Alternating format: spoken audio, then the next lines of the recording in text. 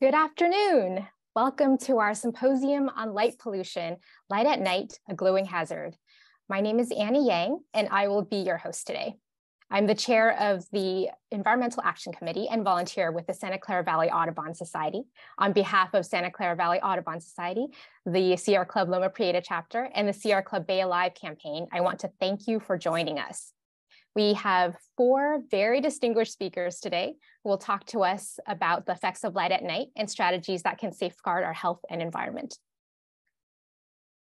First, we have Dr. John Barentine, Executive Officer and Principal Consultant at Dark Sky Consulting, followed by Dr. Travis Longcore, Associate Adjunct Professor at the UCLA Institute of the Environment and Sustainability. Then we have Dr. Christine Sheppard, Director of the Glass Collisions Program at the American Bird Conservancy. And finally, Ms. Mary Coolidge, the Bird Safe and Lights Out campaign coordinator for uh, Portland Audubon. Before we get to the speakers, we have a very special welcome by California Assembly Member Alex Lee, uh, a dark sky champion, a true dark sky champion in our state legislature. Assemblymember Lee currently represents California's 25th district, which includes several of our South Bay cities. He was elected in 2020 and serves on several committees, including education, transportation, and business and professions. And he's also the chair of the Select Committee on Social Housing.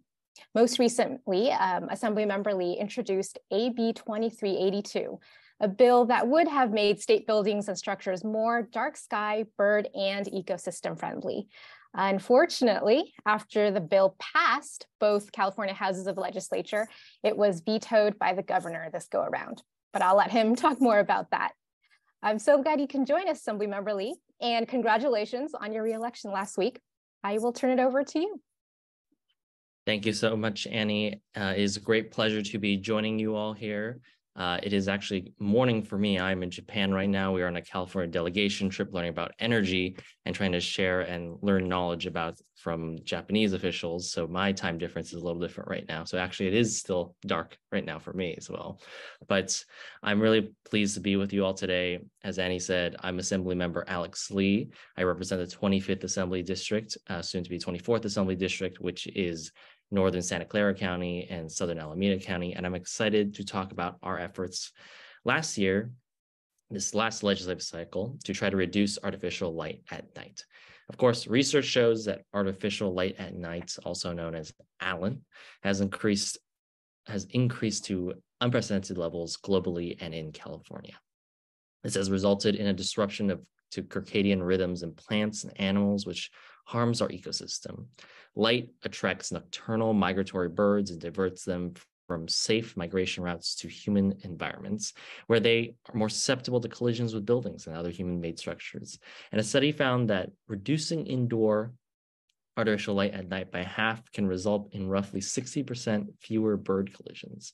In at least 19 states, District of Columbia and Puerto Rico, uh, they have laws in place to reduce light pollution, which include includes limiting uh, artificial light at night.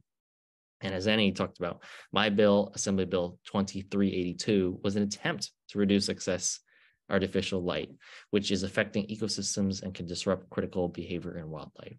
The bill would require all outdoor lighting fixtures installed or placed on state buildings and structures after January 1st of 2023 to have an external shield to direct light to where it is needed and be equipped with an automatic uh, or shut off device or to be motion activated. The reason the bill focused on state buildings was to show as a state we can take these types of steps to prove that a reduction of light pollution is possible while saving energy and helping the environment.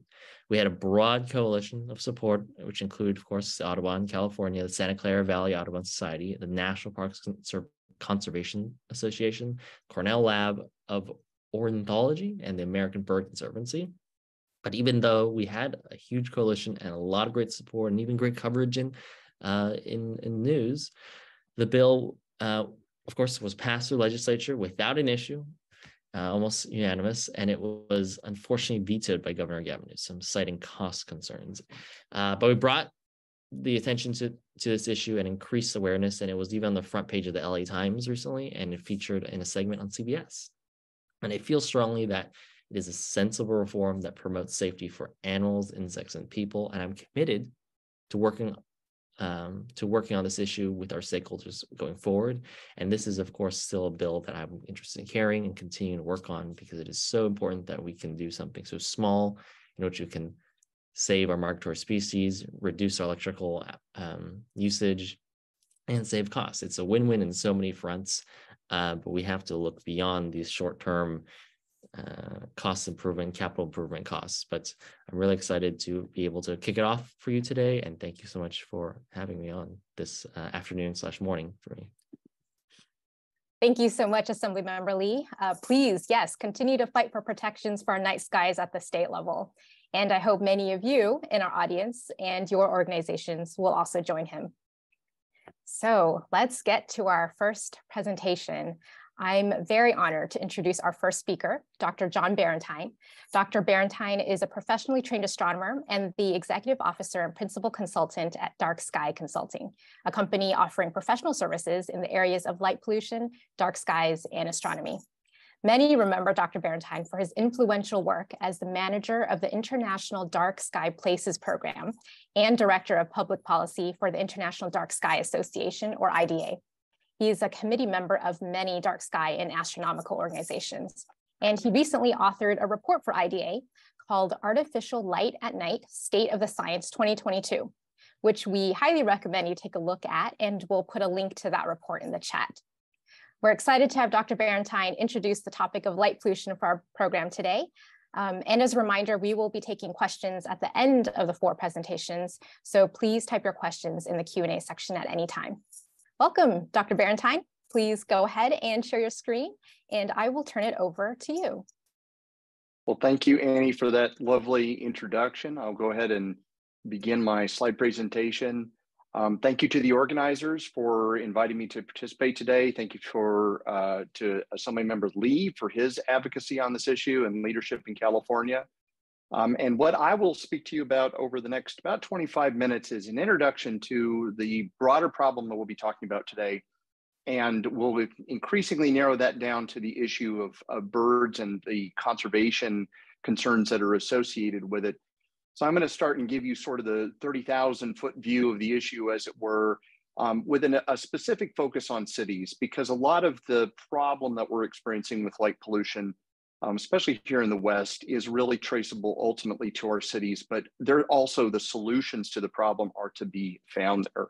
So just as a, a brief overview of my presentation, I'm going to talk to you about that big picture put this in context, uh, what the problem means in a global sense, and then narrow it down to our cities and talk about their reach. So how is it that the case that a, a city can influence uh, the conservation status of a species that may be hundreds of miles away, for example? I'll also talk about the role of cities in not only creating this problem, but potentially solving it. If we kind of rethink the way that we light our cities with newer urban lighting design, um, how we can get a good outcome from this so it's not all just doom and gloom. And I'll summarize that with a vision for the future. What could our cities be like in a way that they would contribute positively towards solving this problem while retaining all the light that we need at night for the many various human activities um, that have become indispensable to our society? So, first of all, what is the big picture?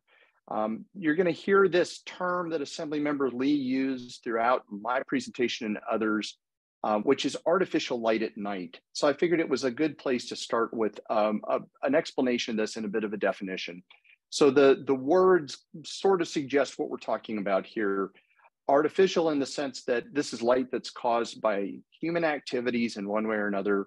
Um, it's light, so it's part of the electromagnetic spectrum of radiation, and it's happening at night. So it's when we don't have the dominant natural source of light in our environment, which is sunlight, uh, and in, in that case, there would be other natural sources in the environment, but we are supplanting that with our own light emissions.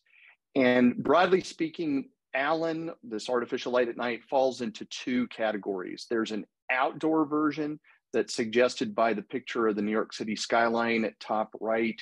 Um, that's mainly what the focus of my talk will be. There's also an indoor version of it. Increasingly, we're hearing about this, especially as it has to do with concerns about human health. Uh, exposure to light at night seems to be bad for people in many respects, uh, but that's a subject of another talk. And today I'll be focused on the outdoor ALAN. So what can I tell you about um, ALAN in general? One thing that I can tell you is that it is an increasingly global phenomenon. This is an image of the Earth at night uh, that is produced by NASA and is called the Black Marble. And it was produced over the course of a year using satellite images of the Earth while the satellites were on the night side. And they stitched together this panorama of the Earth from many thousands of individual images that were all taken under conditions where locally there were no clouds. So it looks like it's night everywhere at once and that there is no weather on the earth so that we can see the night lights. The continents are outlined pretty distinctly from the oceans, which are darker. The continents are sort of bluish from moonlight during the study period. And what really dominates this view besides the continents is that sort of golden glow which is the Earth's cities. That's all light caused by human beings that is being emitted into the nighttime environment, some of which goes directly up into the sky where it is detected by uh, Earth orbiting satellites.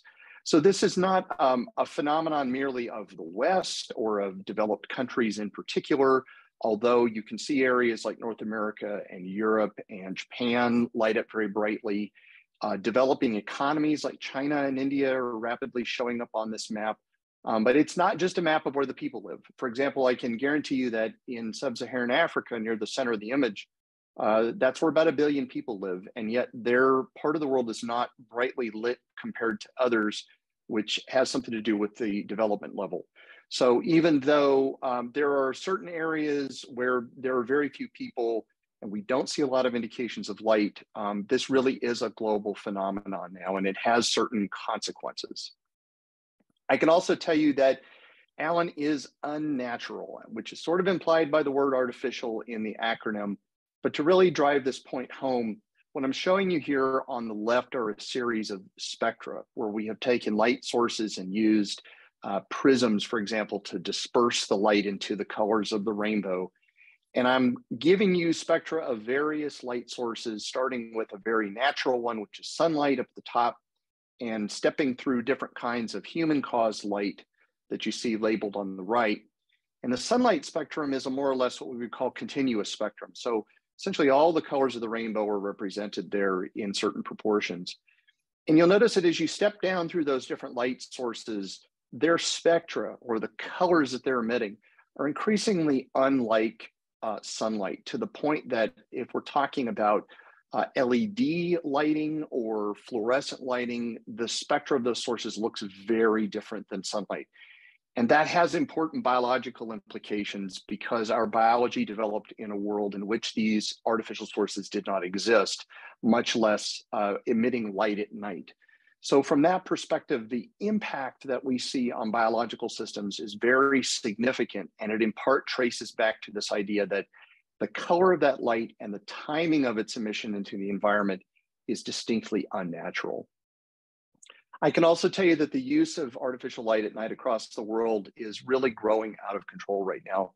This is probably the most technical slide that I'm going to show you, and it requires a little bit of, of explanation. This is the result of a study that was done in the first half of the last decade using that map of the world that I showed you previously where the researchers looked at each country's share of that light emission, and they looked at two quantities. The one I'm showing you on the left, called area, is the percentage of that country's land mass that shows some indication of artificial light at night. And then on the right, I'm showing you a quantity called radiance, which is the quantity of light emitted by each country. And the color coding here is showing you how those quantities changed over the course of the study period, which was from 2012 to 2016. So if a country shows up in a red color, it means that quantity was generally increasing by some amount during the study period. And the cooler colors, the, the grays and blues, are where it appeared to decrease. And you'll notice two things. One is that there are very few countries in which the quantities were decreasing, where uh, the lit area on the left was decreasing during the study period particularly in countries like Syria and Yemen, that was due to civil wars that were ongoing at the time. So this is telling us a bit about human activities. Um, but you'll notice that also the majority of the countries in both of these quantities, they're reds and yellows. They're increasing, generally speaking. And both of these quantities, both the lit area and the radiance, were increasing in this study period on a global average of about 2% per year. So about twice the rate of the human population growth during that time. But some of these countries saw increases during the study period in the double digits of percentages year on year. So this is a really significant issue that's increasing right now at a rate that vastly exceeds the rate at which our human population is growing. So that has a consequence associated with it that you will also hear in a term called light pollution. There's no one definition of this uh, term, but here's one that I like, which focuses on adverse effects or impacts that are attributable to the use of artificial light at night. And I say adverse effect or impact in order to distinguish this from useful light that's performing some service for us on the ground. It's lighting our way at night, it's showing us potential obstacles in the way, um, it's helping us um, be more safe and secure at night. But there are many instances where that light is not reaching its intended target or it's being broadcast into the environment when it's not needed. And when we add up all of those effects, it creates what we call light pollution, which has analogs in the environmental world to other forms of natural pollution. So a way of thinking about it is that it's it's polluting a resource which is natural darkness at night, and there are consequences um, when we do that. So what do we know about light pollution besides some of the, the graphics that I've shown you up to this point? We kind of got an impression from the map, perhaps I showed you, that quite a few people in the world live in places that are light pollution. An example of uh, an environmental effect that we can attribute to uh, light pollution is something called sky glow, which is what brightens the night sky and makes it difficult to see the stars beyond. The visibility of the Milky Way is an indicator of a, what we would call a dark sky, which is relatively free of light pollution. But about a third of people live in places that they cannot see the Milky Way at night and under any circumstances. And the interesting factoid here, I think, is the last one that almost 90% of Europeans and more than half of the US population experience a perpetual twilight. So it's the sky never drops below a brightness that you would experience in the hours around dusk and dawn when there's still some influence of sunlight uh, in the atmosphere. And that's really just a profound change to the nighttime environment that really has no historical uh, precedent. And you're going to hear more from the other speakers today about uh, the biological impacts in particular. Uh, and that's one of the aspects that has us most concerned. So ultimately, why is this happening? Why do we have a problem associated with light pollution? It really comes down to an overuse relative to what our needs are. And that overuse is a result of a, a wasteful mindset and how we use a lot of natural resources, not just artificial light at night. And I think that that sense of wastefulness uh, arises from the fact that there's just a lack of awareness a lot of people don't think that light at night could be a bad thing. They think of it as a, a social good, something that's beneficial to society. And they don't give a lot of thought to what other effects it might be having on the nighttime environment. So this is already beginning to suggest what the solution to this problem will be, which is by changing the relationship that we have to light at night. Um, but we can start to turn this around and begin to improve the nighttime environment by reducing light pollution while keeping all the light on the ground that we really do need. And at the end of the day, as, for as much has been made of the environmental benefits of LED lighting, I can tell you that this is making the problem worse. It has made light cheaper and easier to consume. And a result of that is that there's more of it now in the environment that there was before the LED revolution began a little over a decade ago. And a lot of that light has the kind of characteristics that are among the very worst for the nighttime environment. So we have to balance the notion that LED is good from an energy efficiency perspective, which it is, with the fact that it's enabling people to use more light in many cases where it's not even needed. So where do cities come into this? I've kind of suggested that cities are part of the problem by some of the images that I've been showing you in the background. Um, and they, they are part of the problem. And it, the reason why is that they really have an outsized influence.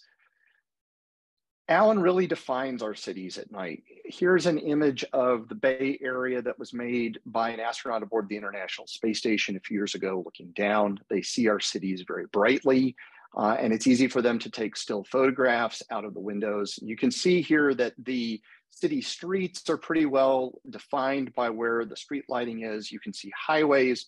You see variations in color that are associated with different kinds of land uses. They're using different illumination sources at night really this is the defining characteristic of our cities.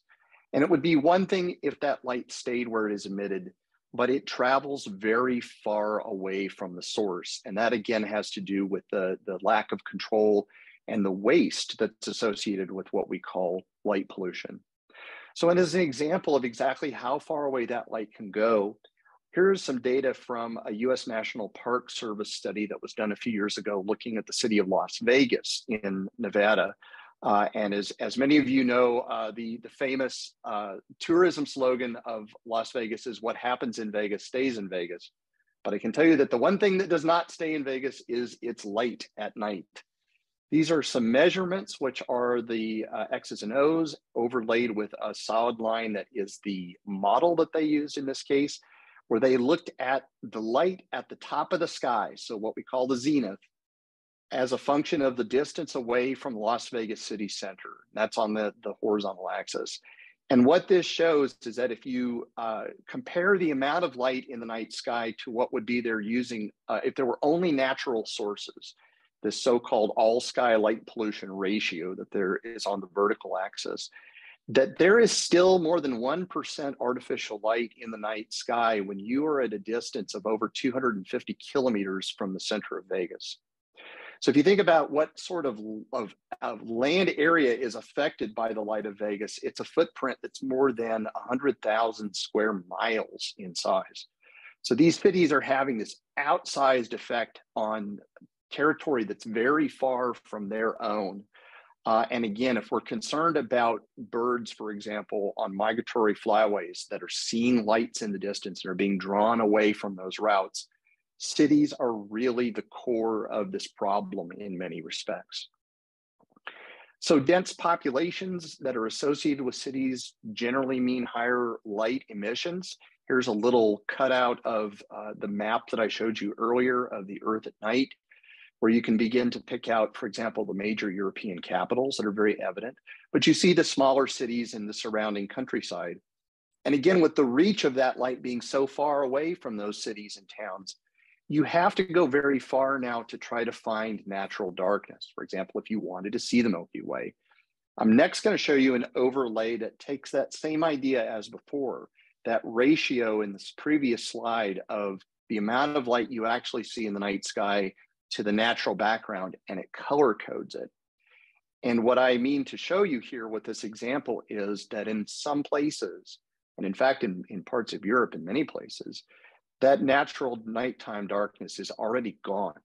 So in the map now, that ratio is the false colors and it ranges from out over the oceans where there's essentially no artificial light at night at all to the cores of the bigger European cities where the ratio is in the dozens or even hundreds of times above the natural background.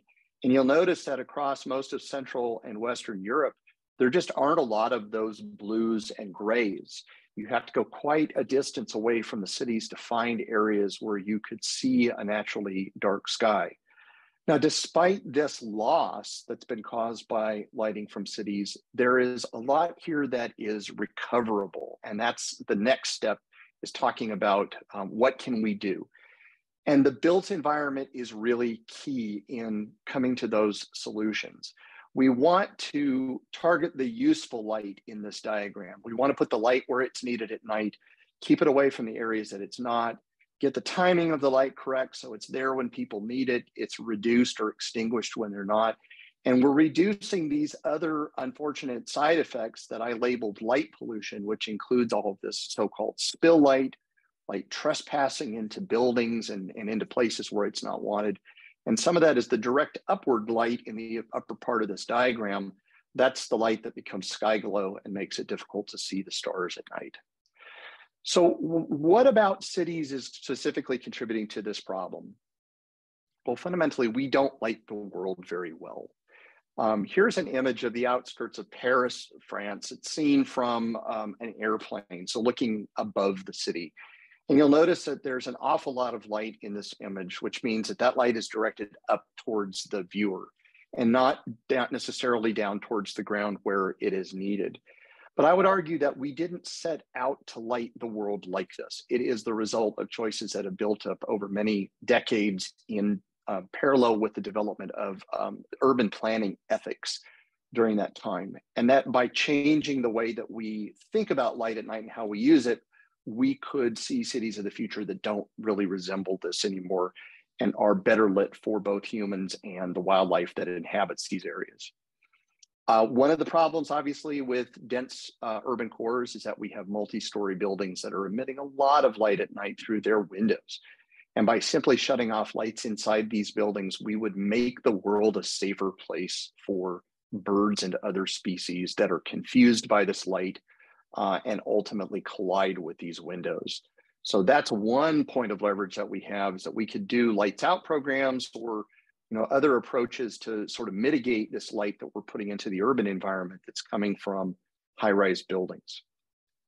There's a lot of so-called historical lighting in cities especially in downtowns. And that those fixtures were made decades or a century or more ago under the presumption that it was probably a gas flame that was inside those light fixtures. They've been replaced with LEDs, which are vastly brighter. But the way that the light is emerging from the fixtures doesn't put a lot of it on the ground where it's needed. So we then need supplemental light. We use, use even more light than we did before. Um, and we're making light pollution worse as a consequence. So we may have to rethink some of these ideas about how we do historic preservation in order to maintain the daytime appearance of these fixtures while limiting their uh, contribution to light pollution at night. And of course, who hasn't seen a news story like this somewhere, right? You know, tired of crime, neighbors light up their streets. And maybe this is not exactly what we want, even though we can acknowledge that, uh, you know, there is a nexus between light at night and safety, and we certainly want to promote that but there are diminishing returns. And if we're just shining bright light into people's faces at night, we're not necessarily going to improve the situation with uh, crime or public safety. I can tell you that there is some research that says that light levels at night correlate with a feeling of safety, which is important. We want people to feel reassured when they're outside at night. But that's also a case of diminishing returns. And according to this data from a study that was done in Israel a few years ago, you get a strong increase in a feeling of safety when you take a completely dark area and you add a little bit of light to it. But as you add more and more and more light, you don't get the same return on that investment and you don't get people feeling safer about being in those spaces at night. So it's about better design and just not more light in order to make our streets safe and to have people feel safe being on those streets at night. And the other problem that works against us in cities is that the lighting standards that we use are often not really well backed by uh, empirical evidence. Um, and that's, you know, here some leading lighting researchers are saying that out loud in their papers that, that the recommendations we have right now are really not well founded in evidence. Um, and that we need to go out and figure out what the right light levels are in order to light our cities correctly. So lastly, in the, the few minutes I have here remaining, I'm going to wrap up with a vision for the future of what our cities could be in a way that would make light better for people at night on the ground and keep more of that light out of the night sky where it's disorienting to birds and makes it difficult to see the stars. So for one thing, we need to get the right lighting in place, and that is taking into account all of these characteristics of lighting when we make decisions about street lighting, about area lighting in places like parking lots. We need to shield lights properly so that light is kept on the ground. We need to get the color of the lighting right, which is better for our biology. We need to reduce the intensity of that light to proper levels.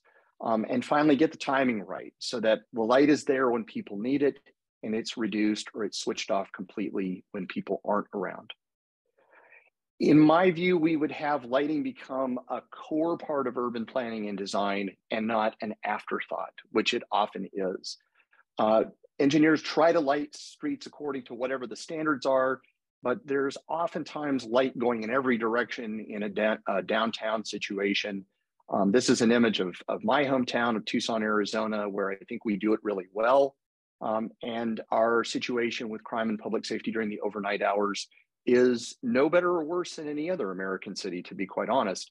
So we've done it in a way that that really prioritizes um, putting the, the planning and design piece first and putting lighting up front in that process and not leaving it to the very end of a project. And I think we have a very nicely lit city as a result. Um, in the same way that I think we could all agree that the smoke coming out of these smokestacks is an environmental problem that should be subject to regulation, um, I would hope that we would come to an agreement that all of this excess and wasted light at night is a source of pollution that should be subject to reasonable controls. That's what Assemblymember Lee was trying to work on with his bill earlier this uh, this year. Uh, and I think that idea is gradually making its way into the world of policy and law. And eventually we will see um, more broad application of meaningful regulations that will reduce light pollution, just as we have environmental laws that have meaningfully reduced, for example, air and water pollution. We need comprehensive um, plans for outdoor lighting everywhere. The picture here is meant to suggest uh, setting up a system of zoning that would be an overlay on land use zones in typical cities where lighting allowances would scale according to actual needs. This makes it simple to follow a prescription when you're developing um, new projects on uh, different lands in, in our cities. We could develop them in ways that are sensitive to the environment, but make sure that we give people all the light that they need uh, so that they can be safe to get around at night. This will be beneficial to our urban wildlife, to the human population of our cities, um, and we think that they just look better when this is done properly. We really do need a revision of international lighting standards, especially for urban settings that have a strong evidence basis. Uh, right now, we sort of make these rules by feel, and we need more data to tell us what the correct lighting levels are so that we don't provide too little light or too much light. And lastly, my hope is that societies everywhere will resist this idea that we just need more and more light. We need to consume more of this resource all the time in order to have safe and comfortable cities to live in. And that instead, more cities out there might someday look like this one here in my own home state of Arizona. This is Flagstaff in northern Arizona with a population of about 75,000 people.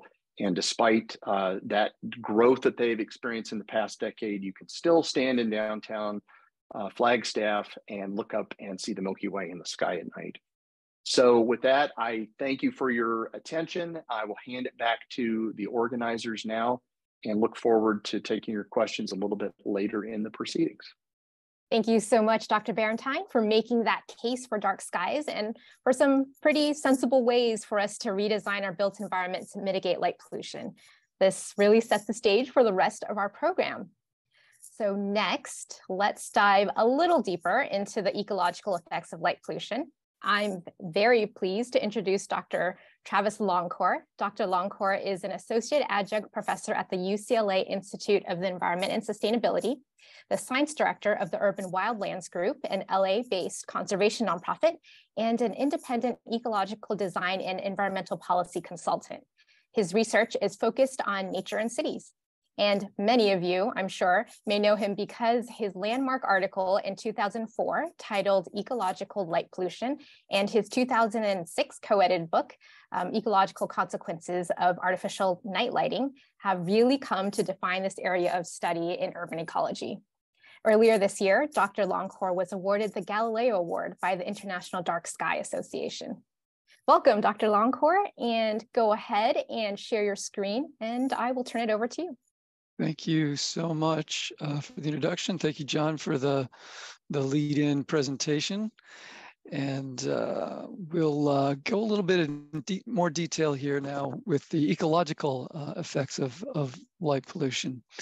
And uh, so, yeah, so we got started on this really about, uh, well, more than 20 years ago. The, the, article there on the left was from 2000, 2002 when we uh, organized the first conference, international conference on the effects of light at night on, on ecosystems. My now wife, Catherine Rich, and I did that. And, uh, and then around the same time, the National Park Service was also gearing up its uh, Night Skies uh, Natural Sounds Division and was doing these incredible mosaics of measuring light pollution from the national parks. That was some coverage there from 2004. We, uh, just by way of the background here, we did do that article in 2004 and the edited book that came out in 2006 now, uh, really trying to establish this sort of leg of the light pollution stool, as it were. And it really came out of some questions from colleagues at the International Dark Sky Association, where they were back in those days having a hard time getting people to understand that light pollution wasn't just about astronomers and astronomical observation, even though it is, um, or just about sort of cultural loss of night and, and human connection to the sky, although it is, or about human health and human circadian rhythms, although it is, but that it also was about wildlife. And so this work that we started then was really in, in response to those questions of, can we get something together to establish that this too is an important uh, part of the story and, and really um, what, what it showed at that time and has in the 20 years since is that one, there were definitely precursors back out there that we knew about already that, that just needed to be articulated. And also the amount of not new knowledge that we've added in the 20 years since has really been quite incredible, leading us to uh, better advice here about how we mitigate, uh, how we avoid, how we calculate the impacts of, of light at night. But when it comes right down to it, you know, it's about it's about losing this. This is a photograph one of my students took uh, using a special camera on the north uh, rim of the Grand Canyon. You can see a tiny bit of light there on the horizon. You can see the glow of a campfire, um, but uh, really that's pretty much uh, a natural dark sky. And just for reference, that's about a a two minute exposure uh, in a camera with a special hemispherical lens on it. So we're seeing the entire hemisphere. If you move out to the outskirts of Los Angeles, um, it looks more like this. And that's about a 30 second exposure. Um, you can see the, the, Milky Way through there, but the lights that you see, it's really starting to wash that out considerably all around the horizon. That's Los Angeles and Ventura County and whatnot. And then if you go to the mountains that bisect Los Angeles itself and take about a five second exposure on a cloudy night, uh, it looks like this, uh, which is uh, when we do the calculations, even brighter, uh, considerably brighter than the light that's, that's uh, given by the full moon.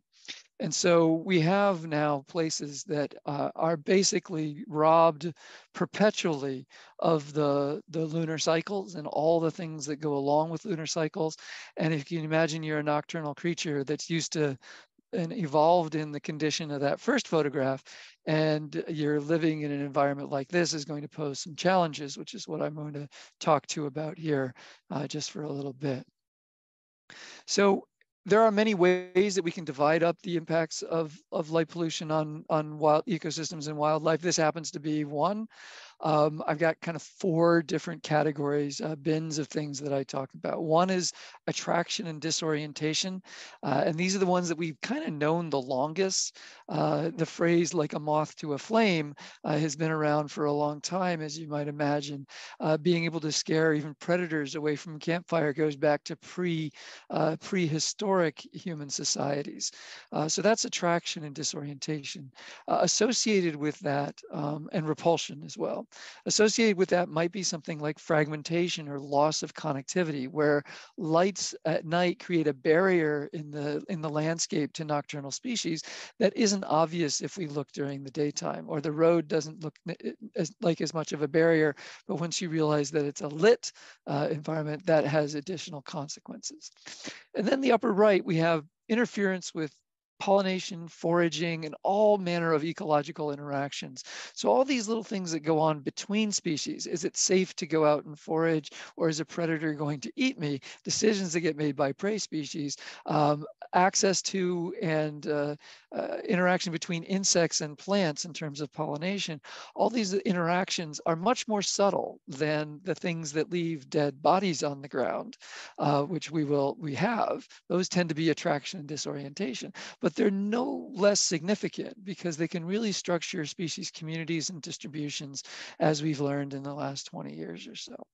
And then finally, we have disruption of circadian rhythms, the daily rhythms, the physiological responses of organisms uh, that, that go on that you don't necessarily see uh, just uh, looking from the outside, but you have to measure in other ways, have other manifestations like the time that an animal will breed, when a bird is laying its eggs, when it migrates, the direction that it might go. All these may be tied to lunar and seasonal rhythms or daily rhythms.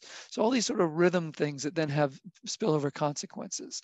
So I'll try to give you some examples of each of these and then talk about how we how we mitigate them. So attraction and disorientation, this is a picture painted of the Eddystone Light in 1912, showing this massive attraction of migratory birds uh, to the light. And, and these birds, uh, you know, often do collide then uh, with structures, can die. Uh, it, it, and we see this across uh, the uh, the, the world today with bright lights, but it goes back, we've known it for a very long time, that things get attracted, uh, especially migratory birds, uh, insects uh, get attracted to these lights. It looks maybe a little bit like this. This is a video, if it will run from Chicago from about the time we got started on this. And you see the little sparks of light above the lights on this building. Those are birds.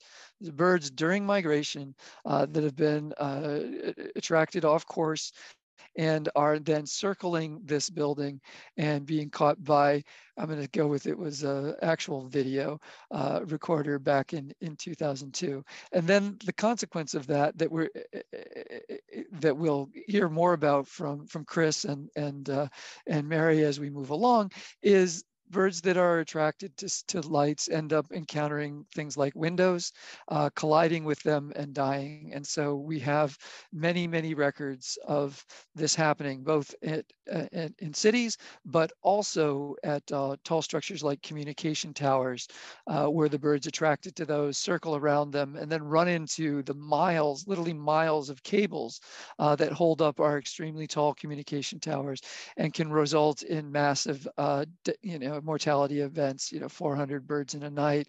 Um, uh, these are the kinds of things uh, that, that happen. Uh, and so we're going on here, just a little illustration of going and finding these birds grounded on the ground, uh, uh, city uh, surface after, after the, the light attraction event. Uh, this happens for seabirds as well. This video from my colleague Aaron uh, Rodriguez, where they are using uh, GPS trackers on um, fledgling uh, shearwaters uh, that are coming out of a nest site. So the nest site is in the upper uh, right in both images. And uh, the first couple of birds that come out make it to the ocean. That's where they need to go. Uh, but the rest of them get attracted to the lights uh, that you can see in the video on the left. first two, there they go out to sea. That one hits the lights and then, oh, still back on the lights. The fourth one's on the lights. Um, and this is a problem because they get grounded. Uh, they're subject to uh, predation by uh, predators. And uh, they also have a hard time getting aloft. So you actually have to collect them up, get them back uh, uh, calm down a bit and they actually release them by tossing them off a cliff uh, so that they can get some lift underneath them and get out to the ocean where they need to go. So this is uh, something that's going on uh, all the time uh, during breeding seasons for, for, for, um, for uh, seabirds. Um, we also have um, sea turtles that are attracted by lights. Uh, and this is just some recent photographs that, that were sent to me, uh, just showing how kind of sad this really is. This is a light at a resort in uh, Central America. Uh, the those sea turtle hatchlings hatched on the beach.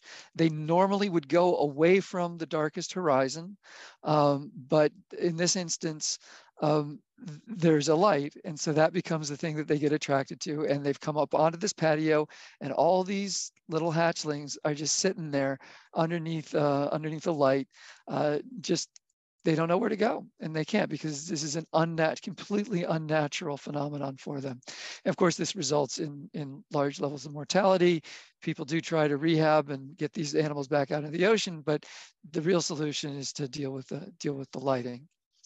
Um, we have attraction also in, uh, in of, of insects. This is uh, in the center there is a picture from the Peruvian Amazon from a study that uh, we were doing with the Smithsonian. Uh, these are lights that have been installed at some uh, hydrocarbon facilities that were going to go in and they were going to be lit. And the only question left was what color do we do the lighting? So there's an experiment uh, there on the right hand side.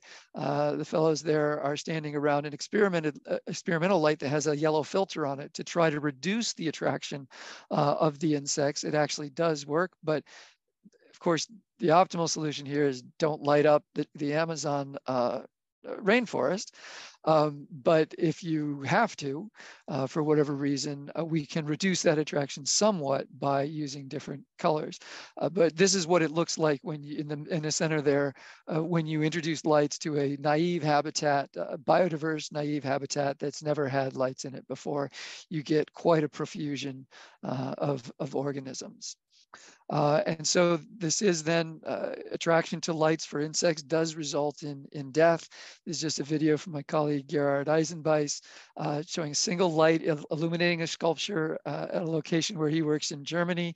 Uh, and every one of these uh, is, is, is hot on top of that lens there.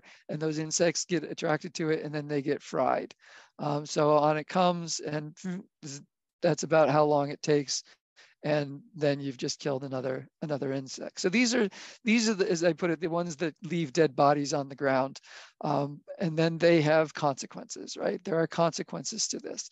So pollination is an is oftentimes nocturnal. We we usually think about daytime pollination, but moths are especially adapted and co-evolved to many night blooming flowers uh, in order to pollinate them. And we have incredible research now coming out of the UK and Switzerland, really demonstrating that uh, light at night reduces nocturnal pollination services, and it does it to such a degree that it actually changes the daytime pollinator community because those nighttime uh, pl plants that get pollinated at the night also have sometimes flowers that are open during the day. And with the reduction in nighttime pollination, you get reduction in overall flower cover and reduction in daytime pollinators as well. Absolutely incredible study that was done by observing thousands and thousands of nighttime and daytime uh, flower insect interactions, and then experimentally lighting up a meadow uh, with street lights and demonstrating these, these impacts. A rather incredible work that people have done uh, to demonstrate this, and, and now we now we know right? Another ecological interaction is a study that my colleagues and I did here in Southern California, published quite recently. Uh, we looked at uh, the distribution of Western snowy plovers, uh, which do uh, uh, nest and roost on the coast of California, including up in the Bay Area and beyond. they come, many of them come down here to Los Angeles to roost. So we were looking at roosting sites for snowy plovers in the in the wintertime. And then also the spawning sites for California grunion, which is this fish that during the full moon, so very bright, you know, naturally bright conditions, and the new moon will spawn on the beach. And uh, both of these are, are susceptible to predators because they're kind of both uh, tasty little morsels, if you will.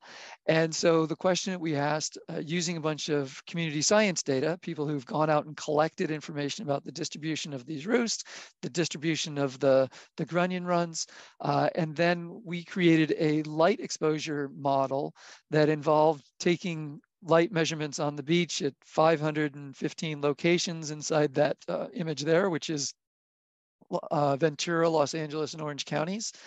And uh, then modeling that outward, figuring out the brightness along the beach, other elements of the habitat that were important to these two species, and then figuring out if we could explain what was explaining the distribution of the roost and distribution of these uh, these uh, grunion runs. And we found two different results for the two things.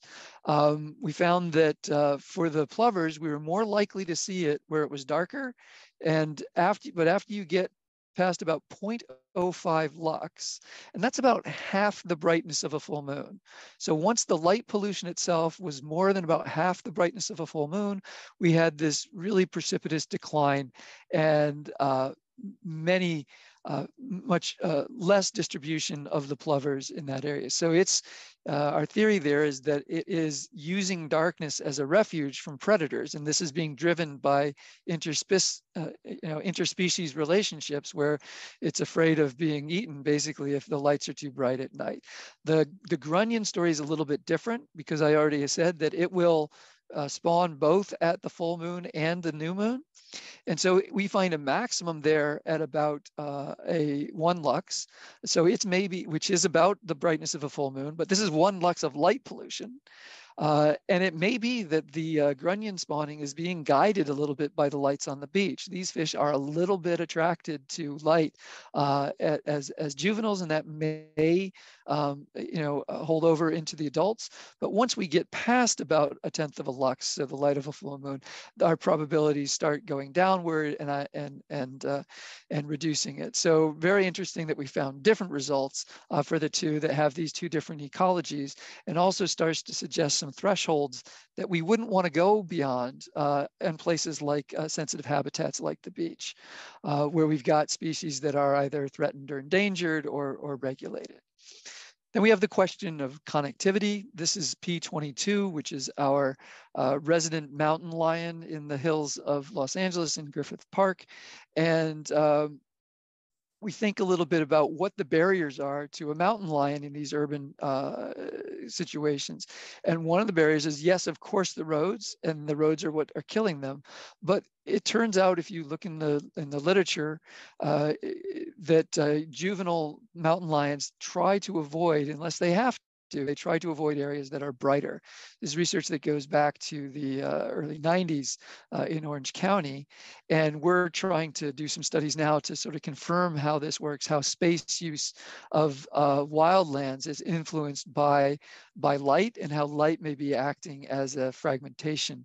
Uh, just incidentally, this image here is the 101 freeway in um, Agoura Hills, California, and this is the this is the the the the break uh, between the Santa Monica Mountains, which are those mountains I'm looking southward to right now, and the Simi Hills and the rest of the California wildlands, which are behind uh, this picture.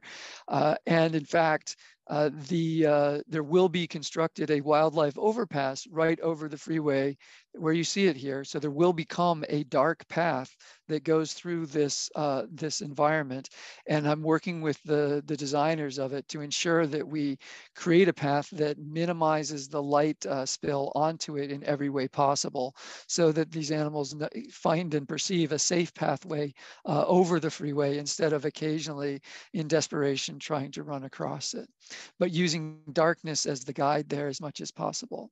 This, uh, this, this fragmentation happens in aquatic environments as well. This is the Sundial Bridge in Redding uh, which is just horribly, horribly lit uh, with uh, about the worst way you could light it in terms of maintaining the migratory connectivity for the fish that go up and down this river. And so we have evidence, uh, and there's a new paper about this I've got to read, uh, just came out and I haven't had a chance to go through it yet about this particular bridge.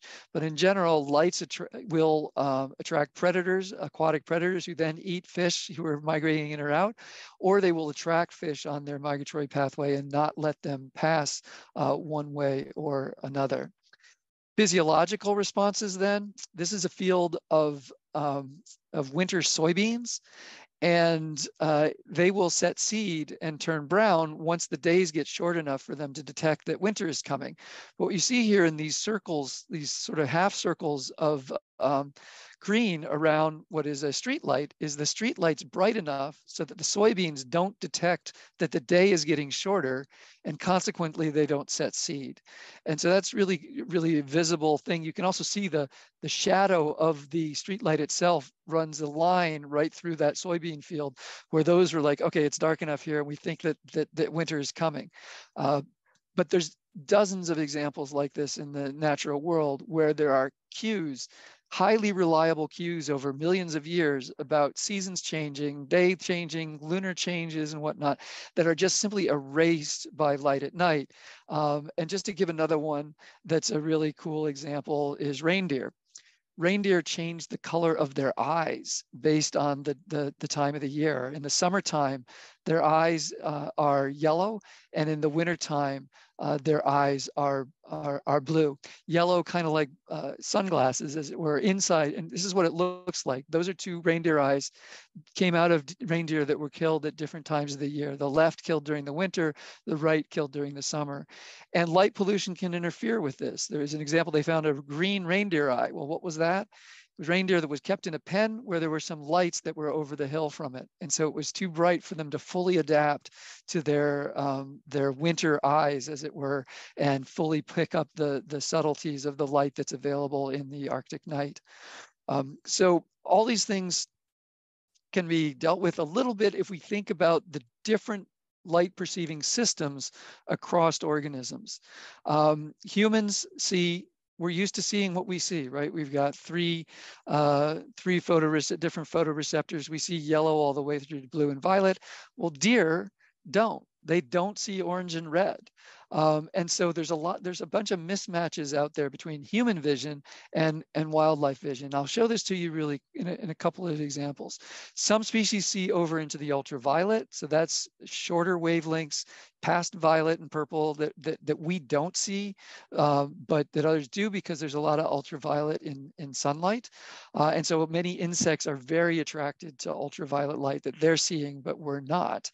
Um, so the peak of our vision is sort of in the middle of this graph, and the peak sensitivity of insect vision uh, in, uh, on average is, is much shorter wavelengths. Um, I've taken and, and overlaid all of the visual responses of all the different organisms that I could find in the literature for the past, whatever, it's 70 years, and uh, summarize them here. And what you'll see is human vision, daytime vision peaks a little bit to the right of this this uh, graph here. This shows the peak of most, the average animal in the world has a peak right here in the green.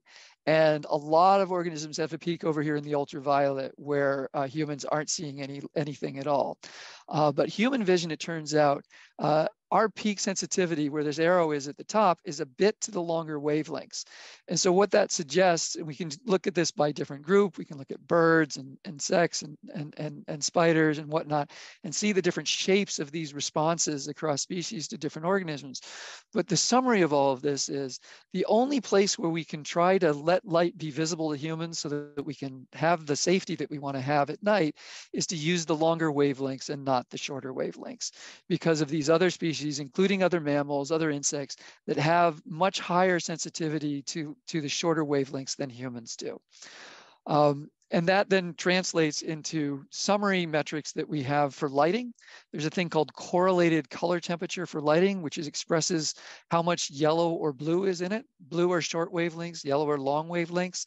Low color temperatures look yellow, like this thing I've got here on the bottom. Very high color temperatures look uh, blue. And I've used all some of these animal responses to create a wildlife sensitivity index and shown that the higher your color temperature is, the greater the uh, impact is going to be on on on wildlife.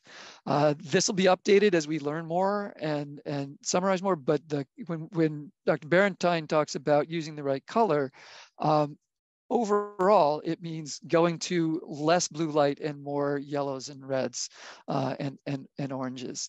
Uh, that doesn't solve all of our issues with uh, birds because birds tend to have a very broad visual sensitivity. And so this technique doesn't work as well with birds, but it certainly works really well uh, or better, I would say, with, with, with insects that, that birds count on. So if we want to think ecosystem wide, um, we, we do want to think about this color temperature question.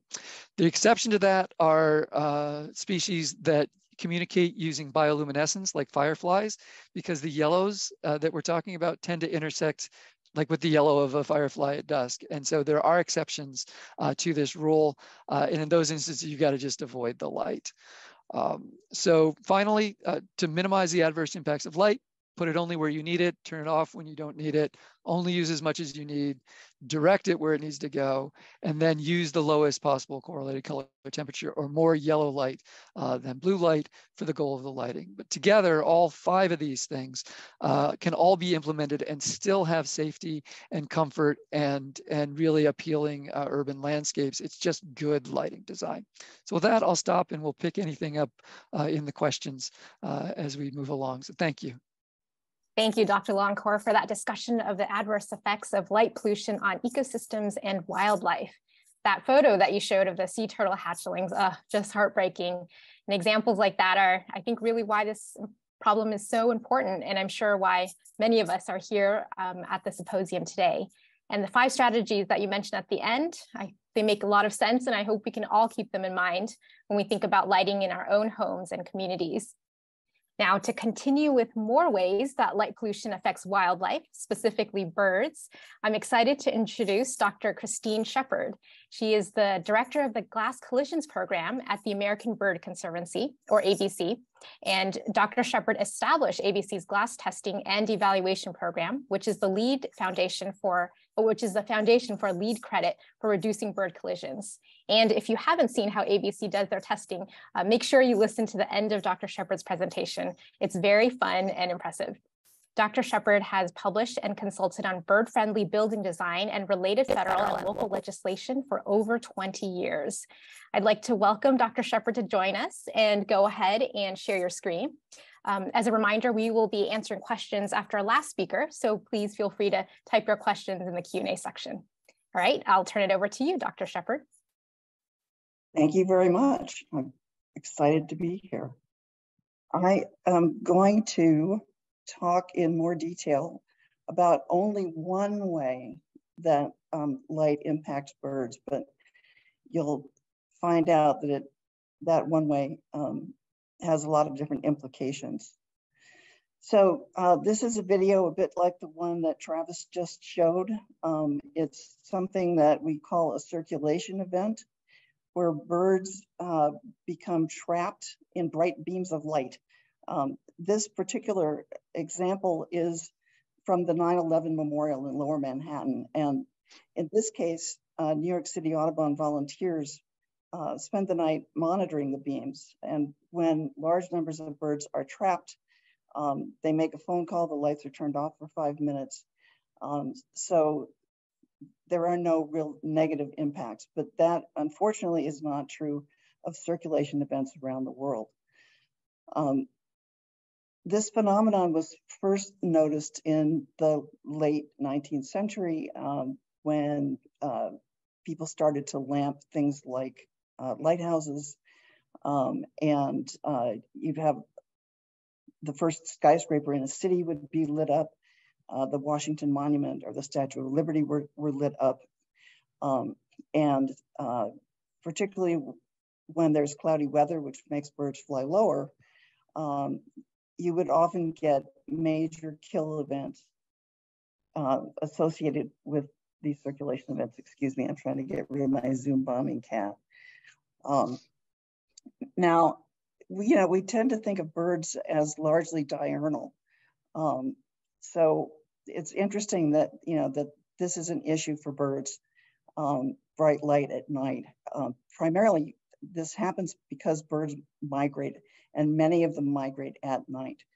Um, so um, they're crossing the skies, they're in unfamiliar areas, um, and bright lights of cities um, are, are impacting them almost immediately. Um, Travis also uh, showed us uh, that circulation events happen at um, cell phone towers. Um, and you can definitely see, you know, that circling something like that is going to be for birds like going through a cheese grater. Um, there are also uh, circulation events um, typically associated with uh, brightly lit drilling rigs uh, in places like the Gulf of Mexico um, and uh, the North Sea, again, where lots of birds are migrating and they um, intersect uh, the areas where there is this bright lighting. We don't see um, the major kill events as frequently as we used to. Um, and this is largely attributable to the increase in light pollution over the last 100, 150 years. So you can see in 1873, Houston had 20 streets um, and probably not very many lights. Now, uh, the lighting footprint of Houston is actually larger than the state of New Jersey. Um, and in some ways, it's almost amazing that migratory birds make it down the East Coast at all um, because there is so much bright light. There's a tendency to associate lighting and bird mortality with tall buildings. Um, and I think that goes back um, to those early days where there were collision events at uh, the Washington Monument, you know, and the Statue of Liberty and so forth. Um, but it's not just the tallest buildings that are causing the problem. Um, the Fatal Light Attraction Program in uh, based in Toronto did a study, um, and what they found was that the light emitted by buildings, the amount of light emitted by buildings, was the strongest predictor of the number of uh, bird carcasses found around those buildings uh, later in the day. We have evidence that the lighting on roads um, can change bird behavior, that even street lighting is enough to change bird behavior. And parking lots and um, even spot lighting in people's gardens can impact uh, bird behavior. So what this means to a certain extent is that our existing lights out programs don't go far enough. Um, if you turn out the lights on one building and it's surrounded by brightly lit buildings, you're really not going to accomplish a lot. Um, and this is uh, one reason why the uh, approach of Assemblyman Lee is so important um, because we can impact many, many more buildings, many, many more people um, through legislation um, than we can simply through um, talking to them and trying to persuade them one at a time. But what we've really found um, is that our intuition that birds are sucked into the built environment by lighting um, is, is accurate. There have been a number of studies over the last couple of years um, that have really demonstrated that you are seeing more birds in the built environment than you would expect if they were distributed randomly across the landscape. And of course, where you'd prefer to see them is outside of the built environment. Um, and this is where what I do comes in um, because uh, as, as birds are in the built environment, um, they are faced with, they're basically lost in the funhouse, um, trying to deal with, with glass experiencing severe mortality. So just to be clear, we're not talking about um, the situation where a bird like a cardinal or a robin repeatedly uh, flies against a, a window. Uh, this tends to be territorial males um, that are fighting with their own reflection. It doesn't usually uh, cause them uh, injury. Um, it might waste a little of their time, but it's not really a serious problem.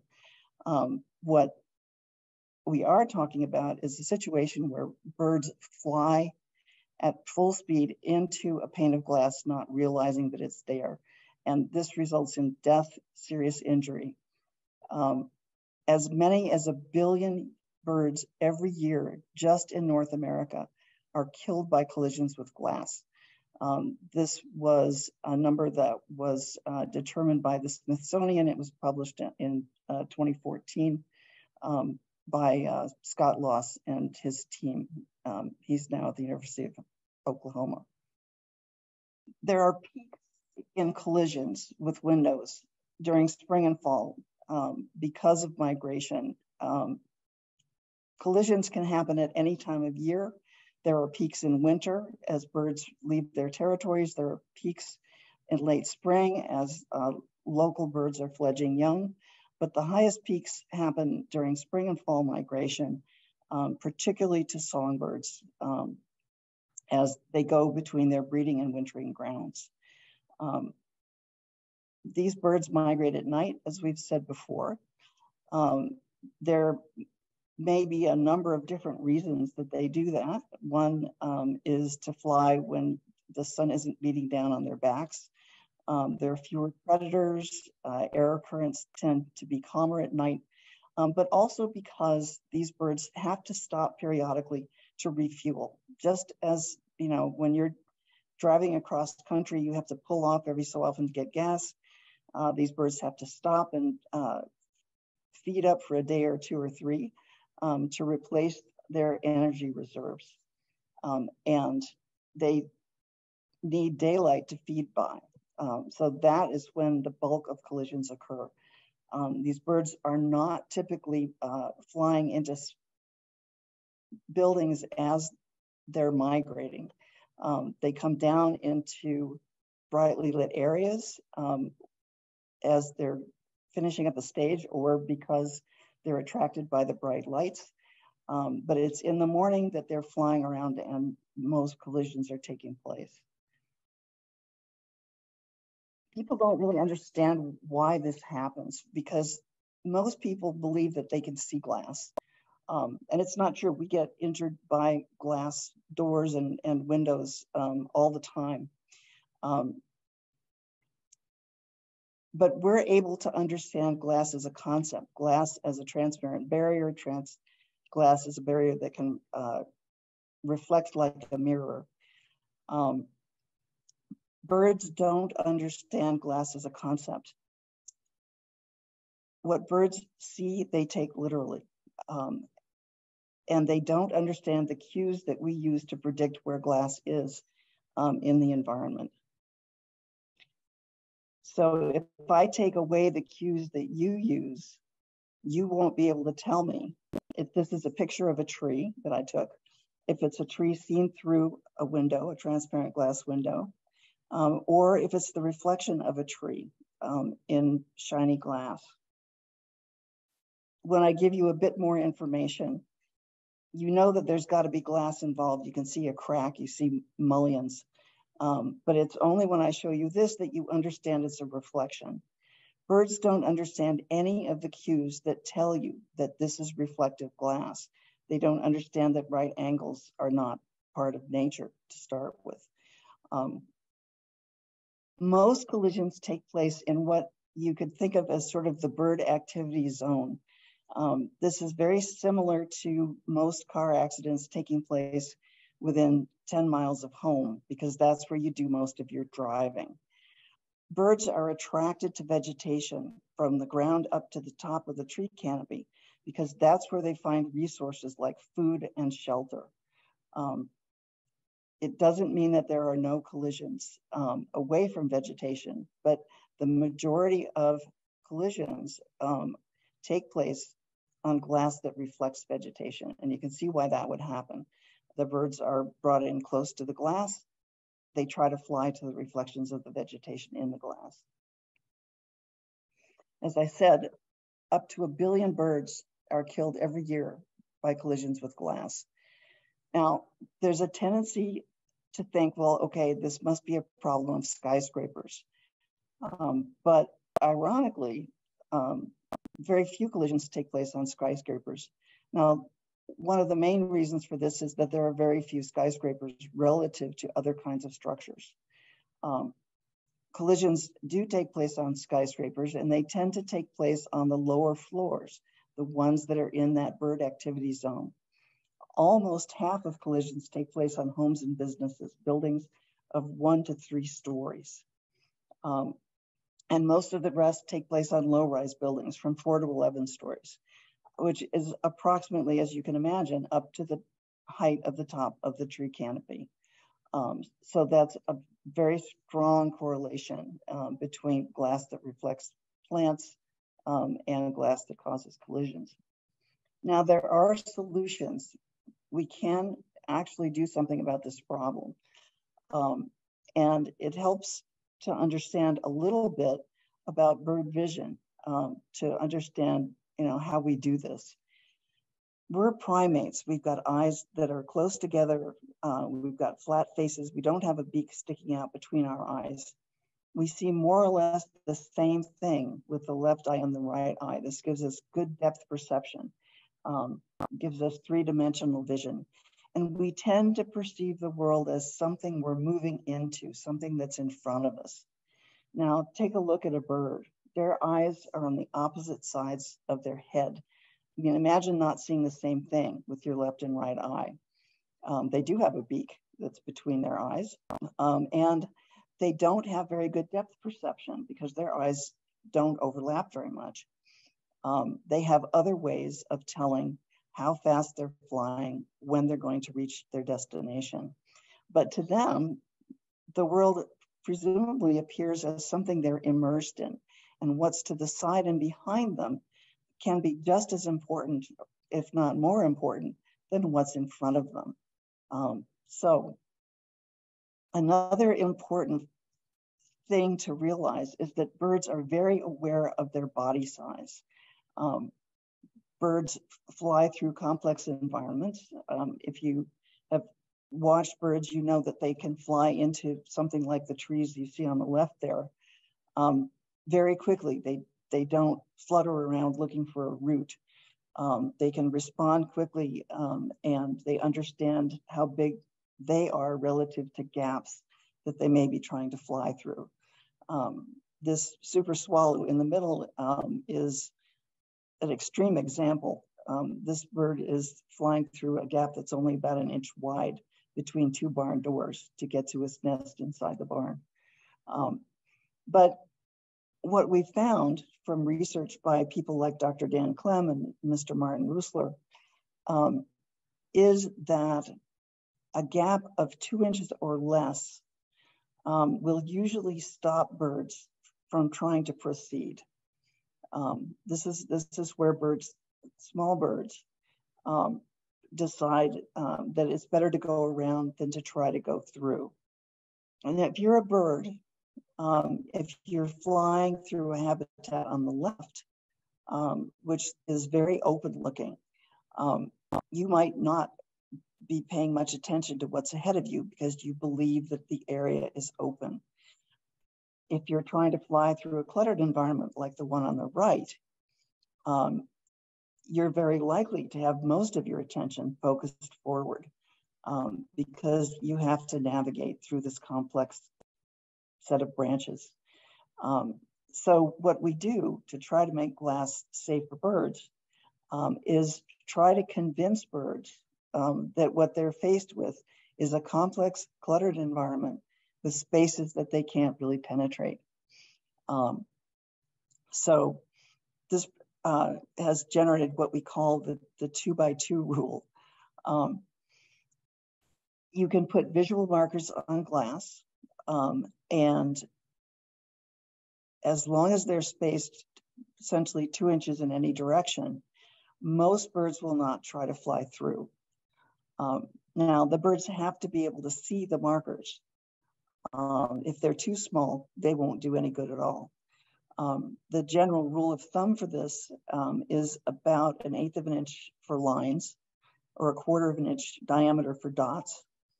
Um, but by no means is it essential um, that you use only dots and stripes. We see a lot of dots around um, as people are starting to uh, employ bird-friendly materials.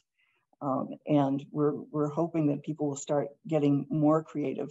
In fact, irregular patterns seem to draw birds' attention better than regular patterns do. Um, so Annie mentioned um, our tunnel testing, um, and this is the contraption that she was referring to. Um, ABC now has two test tunnels. Um, this is our first um, which is located about an hour east of Pittsburgh um, in Rector, Pennsylvania at the Powdermill Avian Research Center, which is part of the Carnegie Museum. Um, this is a protocol that was developed in Austria um, in the early 2000s by Martin Rössler.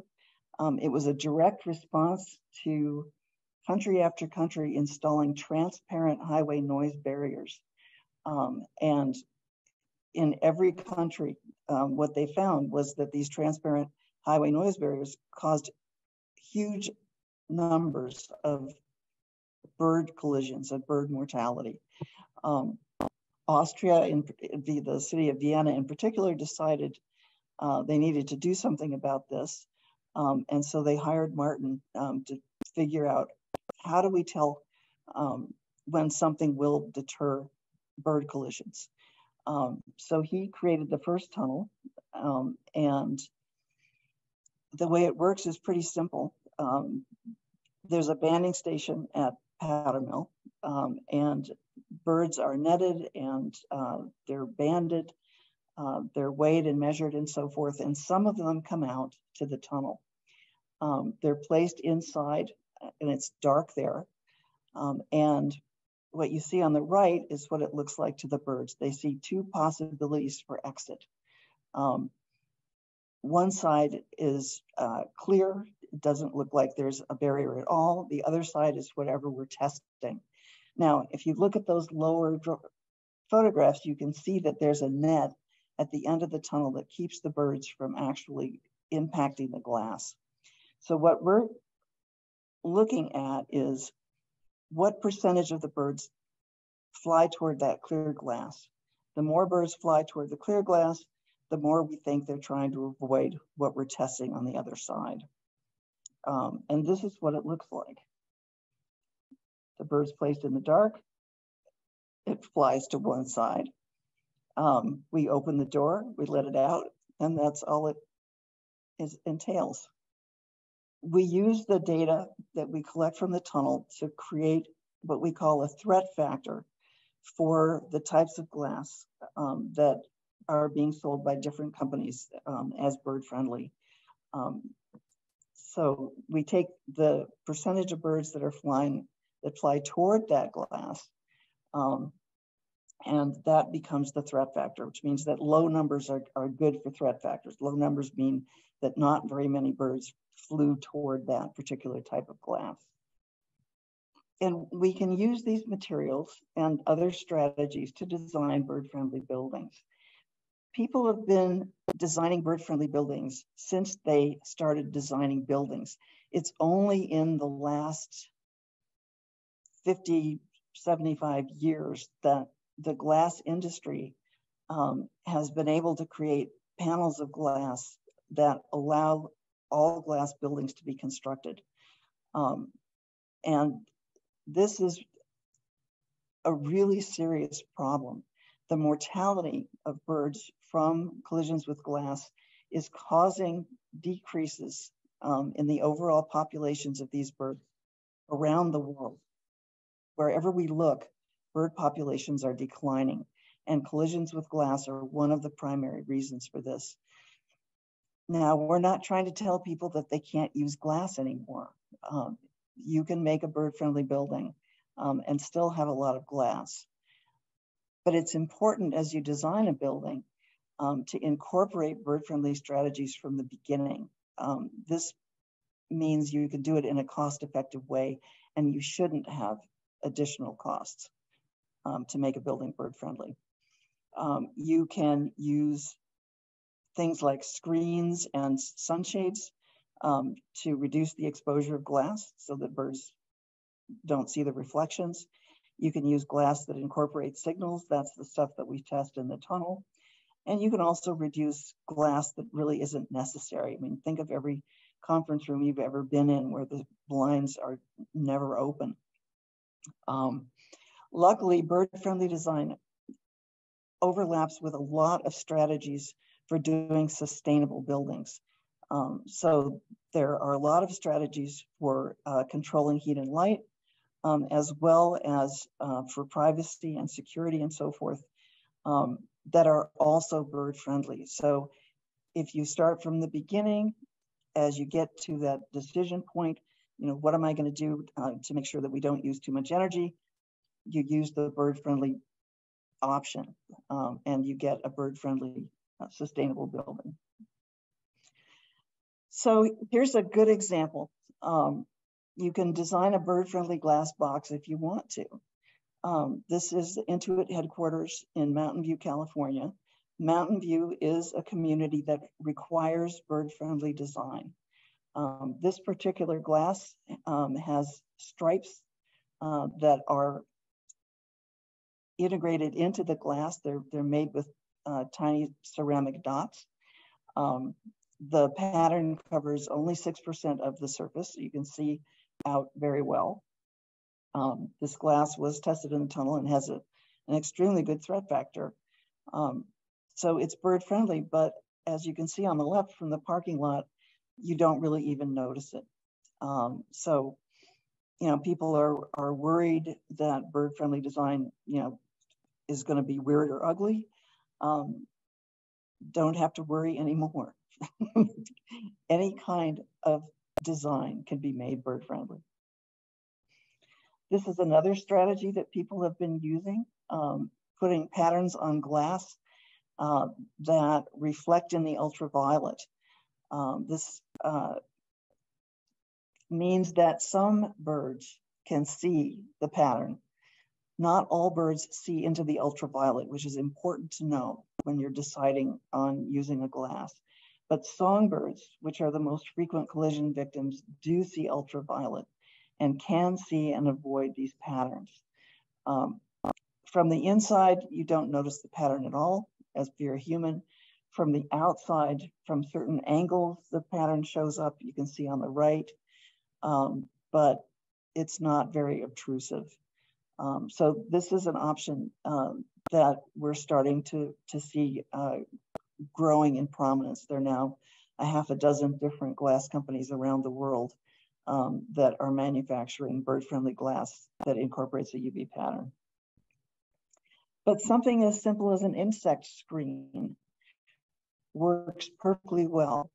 Um, insect screens not only uh, almost eliminate reflections, um, but if a bird does happen to hit the window, they act sort of as a trampoline, so they reduce the impact um, and thus reduce mortality.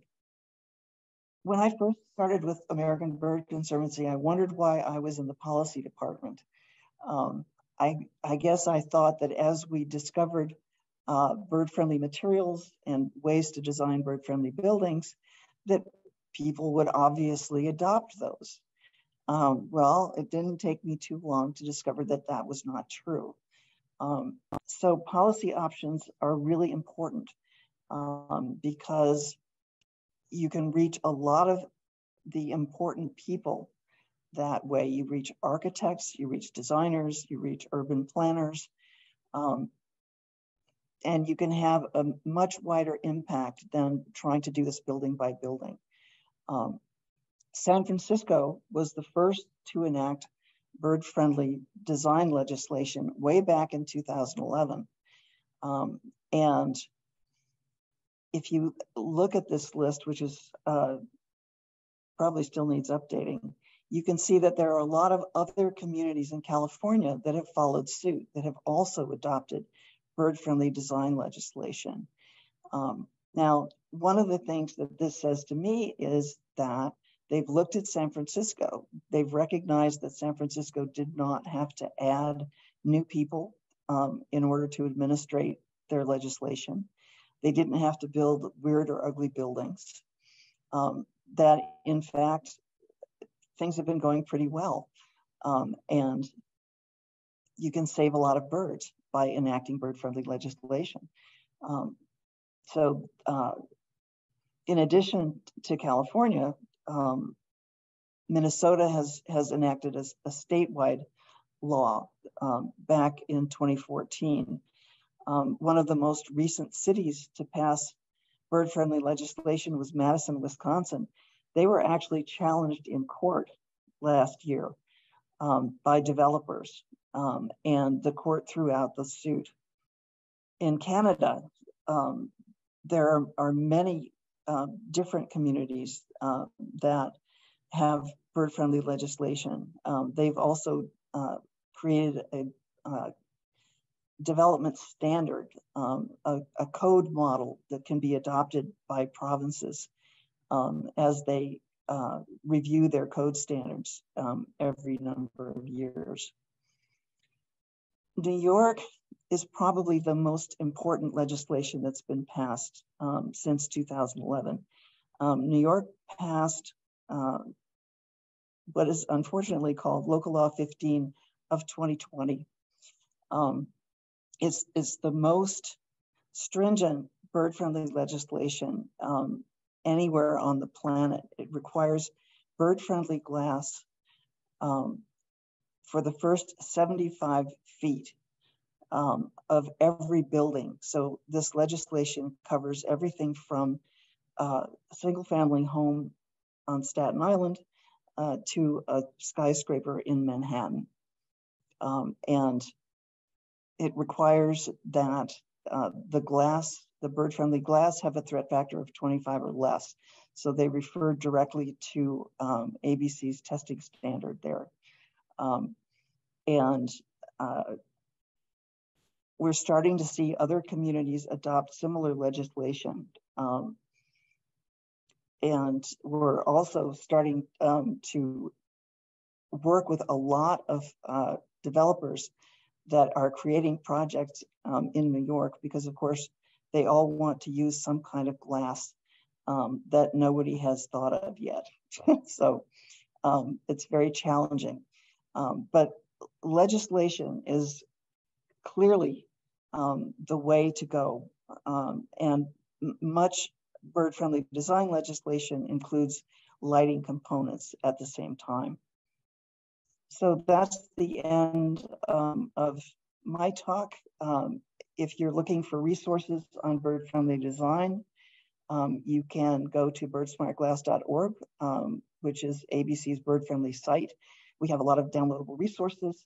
Um, we have pages that will tell you everything from um, how do you pass legislation in your own jurisdiction um, to uh, what to do um, about uh, a bird killing building um, in your city.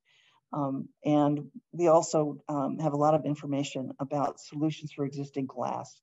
So if, if you have a collisions problem on your home, um, we've got solutions on our website that help you fix that. And thank you for listening. I look forward to answering your questions later on. Thank you, Dr. Sheppard. Uh, we put a link to um, one of ABC's resource websites in the chat, so feel free to check that out. Um, you know, it really makes the devastation of light pollution tangible when we see how our cute neighborhood birds are harmed. Uh, that's definitely how I first got interested in the topic. So what can we do? And are there things we should be doing at um, the local level in our cities or counties or even at the state level. To tell us more about her experience advocating her city and state is Mary Coolidge. Miss Coolidge is the Bird Safe and Lights Out campaign coordinator for Portland Audubon, an organization that works both locally and statewide protecting birds and their habitat. She is dedicated to making the built environment more hospitable to wildlife and helping connect people to nature. She splits her time between Portland Audubon and the Oregon Zoo's California Condor Breeding Facility and serves on the board of the Oregon chapter of the International Dark Sky Association, as well as the Bird Safe Buildings Alliance. Oftentimes, when people want to know what they can do to protect birds in their cities, Ms. Coolidge is the go-to person for advice. Welcome, Ms. Coolidge go ahead and turn on your camera and share your screen. And I will turn it over to you. Thank you so much, Annie and Shawnee and organizers for having me here to be part of this panel with such an incredibly esteemed group of people. I have to say, I think everything I have learned about light pollution and window collisions I've learned from the experts that have just wrapped up talking um, but so I'm here to talk about how we can use all of this information that we've just gotten from um, Dr. Barentine, Dr. Longcore, Dr. Sheppard, and use it to get people on board with changing the relationship that we have with light and being on board with a dark skies preservation campaign.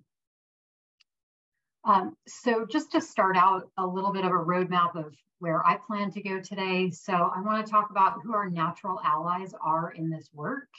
Um, and, and in three basic categories, who we need to convince in order to influence change, because we know we're not going to do this work alone, right?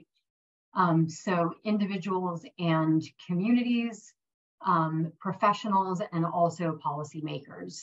Um, and so I'm just going to talk a little bit about what we've done at Portland Audubon and at the Oregon chapter of the International Dark Sky Campaign, uh, Dark Sky chapter in terms of grassroots campaigns, um, astrotourism, measuring sky quality in Oregon, um, the International Dark Sky Places program that's run by the International Dark Sky Association. I'm going to touch on that. I'm going to talk about the work that we have done um, engaging with graduate students, doing continuing ed for professionals working in the field, organizing symposia, um, and participating in those kinds of things. And then policy development. So kind of this long strategic game um, that we started with um, hearing from Assembly Member uh, Lee, talking about the work that they were trying to get done in California. Um, so first of all, I think um, it will probably come as no real surprise to anyone, and certainly Dr. Barentine touched on this. Historically, really the amount of time and effort that has gone into planning um, for daytime environments is much larger than the amount of time and effort that we've put into planning for the nighttime environment. Definitely a lot of the work that we do to plan for the daytime environment has benefits for uh, nocturnal ecosystems. I mean, preserving anchor habitats in our urban areas, requiring eco roofs on some of our larger roofs, setting really ambitious tree canopy targets. All of these things have benefits in the nighttime environment. But if we aren't really thoughtfully designing and managing our lighting, we're actually doing quite a disservice to the nighttime environment and also to the nighttime experience for people that are going outside at night. Um, thankfully, I do think that things are changing. There's starting to be a real growing awareness about the importance of preserving the night sky. And there are programs that actually emphasize this. Uh, the Urban Bird Treaty Program, which is run by US Fish and Wildlife, um, is a program that emphasizes the um, protection of wildlife in our built environment, in our urban spaces. San Francisco is an urban bird treaty city, Portland, Seattle, all urban bird treaty cities. And I want to mention, maybe not incidentally, that the National Fish and Wildlife Foundation provides funding for urban bird treaty cities and to do the work that they're doing. And, and NFWF has really funded probably the better part of the last eight years of the work that I've been doing in Portland on dark sky preservation and collisions management. So something to look into if you're looking for funding for doing some of this work and you're also an urban bird treaty city. Um, the Biophilic Cities program also promotes the um, protection of wildlife in our cities and our built environment. Uh, Portland's a biophilic city, San Francisco is also a biophilic city.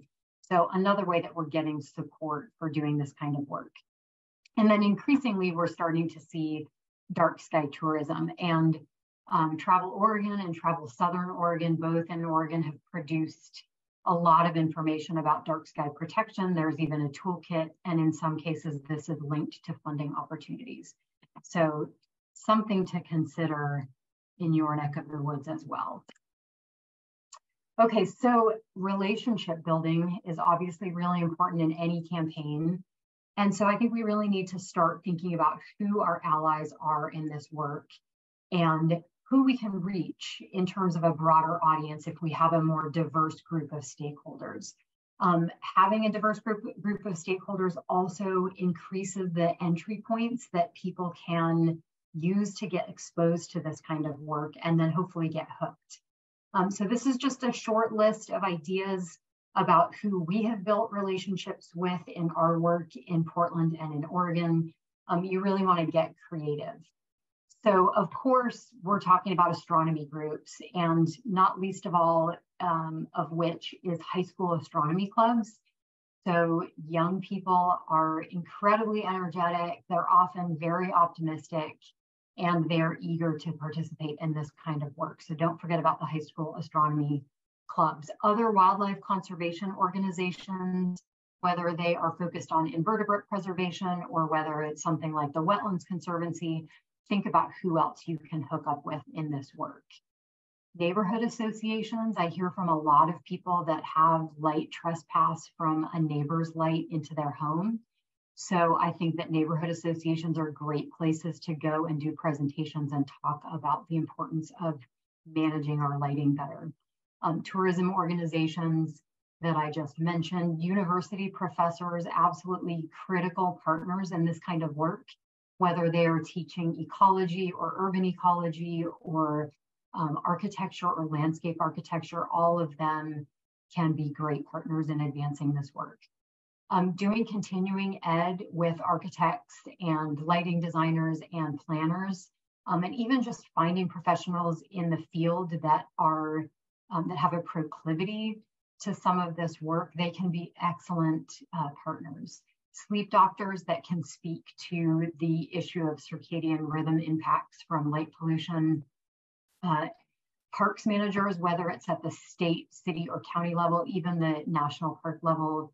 In many cases, these folks are either making lighting decisions or they are managing existing lighting systems.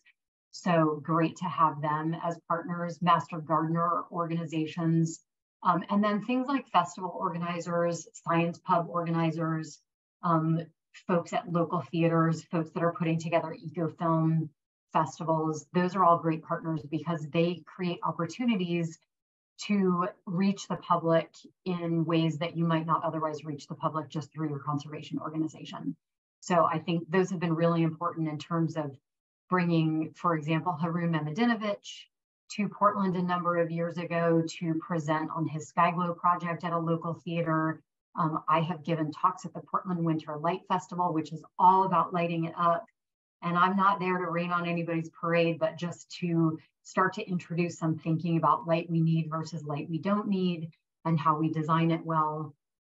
Um, I mentioned um, wetland focused organizations. So we have partnered up with the Wetlands Conservancy to produce a flyer jointly and get the word out to their constituents as well. So things like that are something to think about when you're building relationships, really thinking outside the box. Um, engaging communities um, is actually the way that we start to build a conservation constituency a lot of change happens at the individual level and in people's homes. And then people influence each other. So they're influencing their family members, their friends, their neighbors. And these are also the grassroots roots activists that we are going to call upon later when we are trying to push legislative change. So it's really important that we are engaging the community. Um, birds have been mentioned a bunch of times today. Uh, luckily, these days we have researchers who are using radar technology to track the movements of birds that are on migration and share lights out alerts that they are generating. So the plight of long distance migrants is actually one of the most captivating narratives for people that I have found. And even in talking with other folks outside of the bird conservation world, people just can't get over the fact that birds are migrating at night in huge numbers and that light pollution is affecting them. So this has been an incredibly effective campaign. Um, there are a lot of different entry points that people are going to engage with um, light pollution work, but this one is incredibly successful. Some of our social media posts about this kind of stuff have generated um, something like nearly 100,000 contacts. So this is a massive way that we're getting the word out. Um, so uh, Dr. Sheppard mentioned this in part, about 80% of our North American migrants actually migrate at night. And Colorado State University's Aero Eco Lab and Cornell University are uh, folks at both of those locations are tracking bird movements and they are studying um, climatic patterns, so wind and precipitation, atmospheric pressure, and they are generating forecasts. They're learning to predict really big nights and bird, bird movements. So this is an example from May 4th, 2022 for Oregon. And we had a prediction of nearly 5 million birds that would be moving over Oregon that night, which generated a red alert for the western and eastern portions of the state, an orange alert for the central part, part of the state. And we got the word out to our networks, um, also broadcasting this through the Oregon Audubon chapter network statewide to get the word out to cities throughout Oregon. What we found the next morning when we checked the um, migration dashboard at, out of Cornell was that over 25 million birds had passed through Oregon the night before. So this was a huge night to get people thinking about turning off their lights. And really importantly, we are asking people to turn their lights off on these critical nights, but we are also messaging that what we want people to do is consider whether some of the behavior changes they engage in on these particular nights are things that they can continue to engage in year round.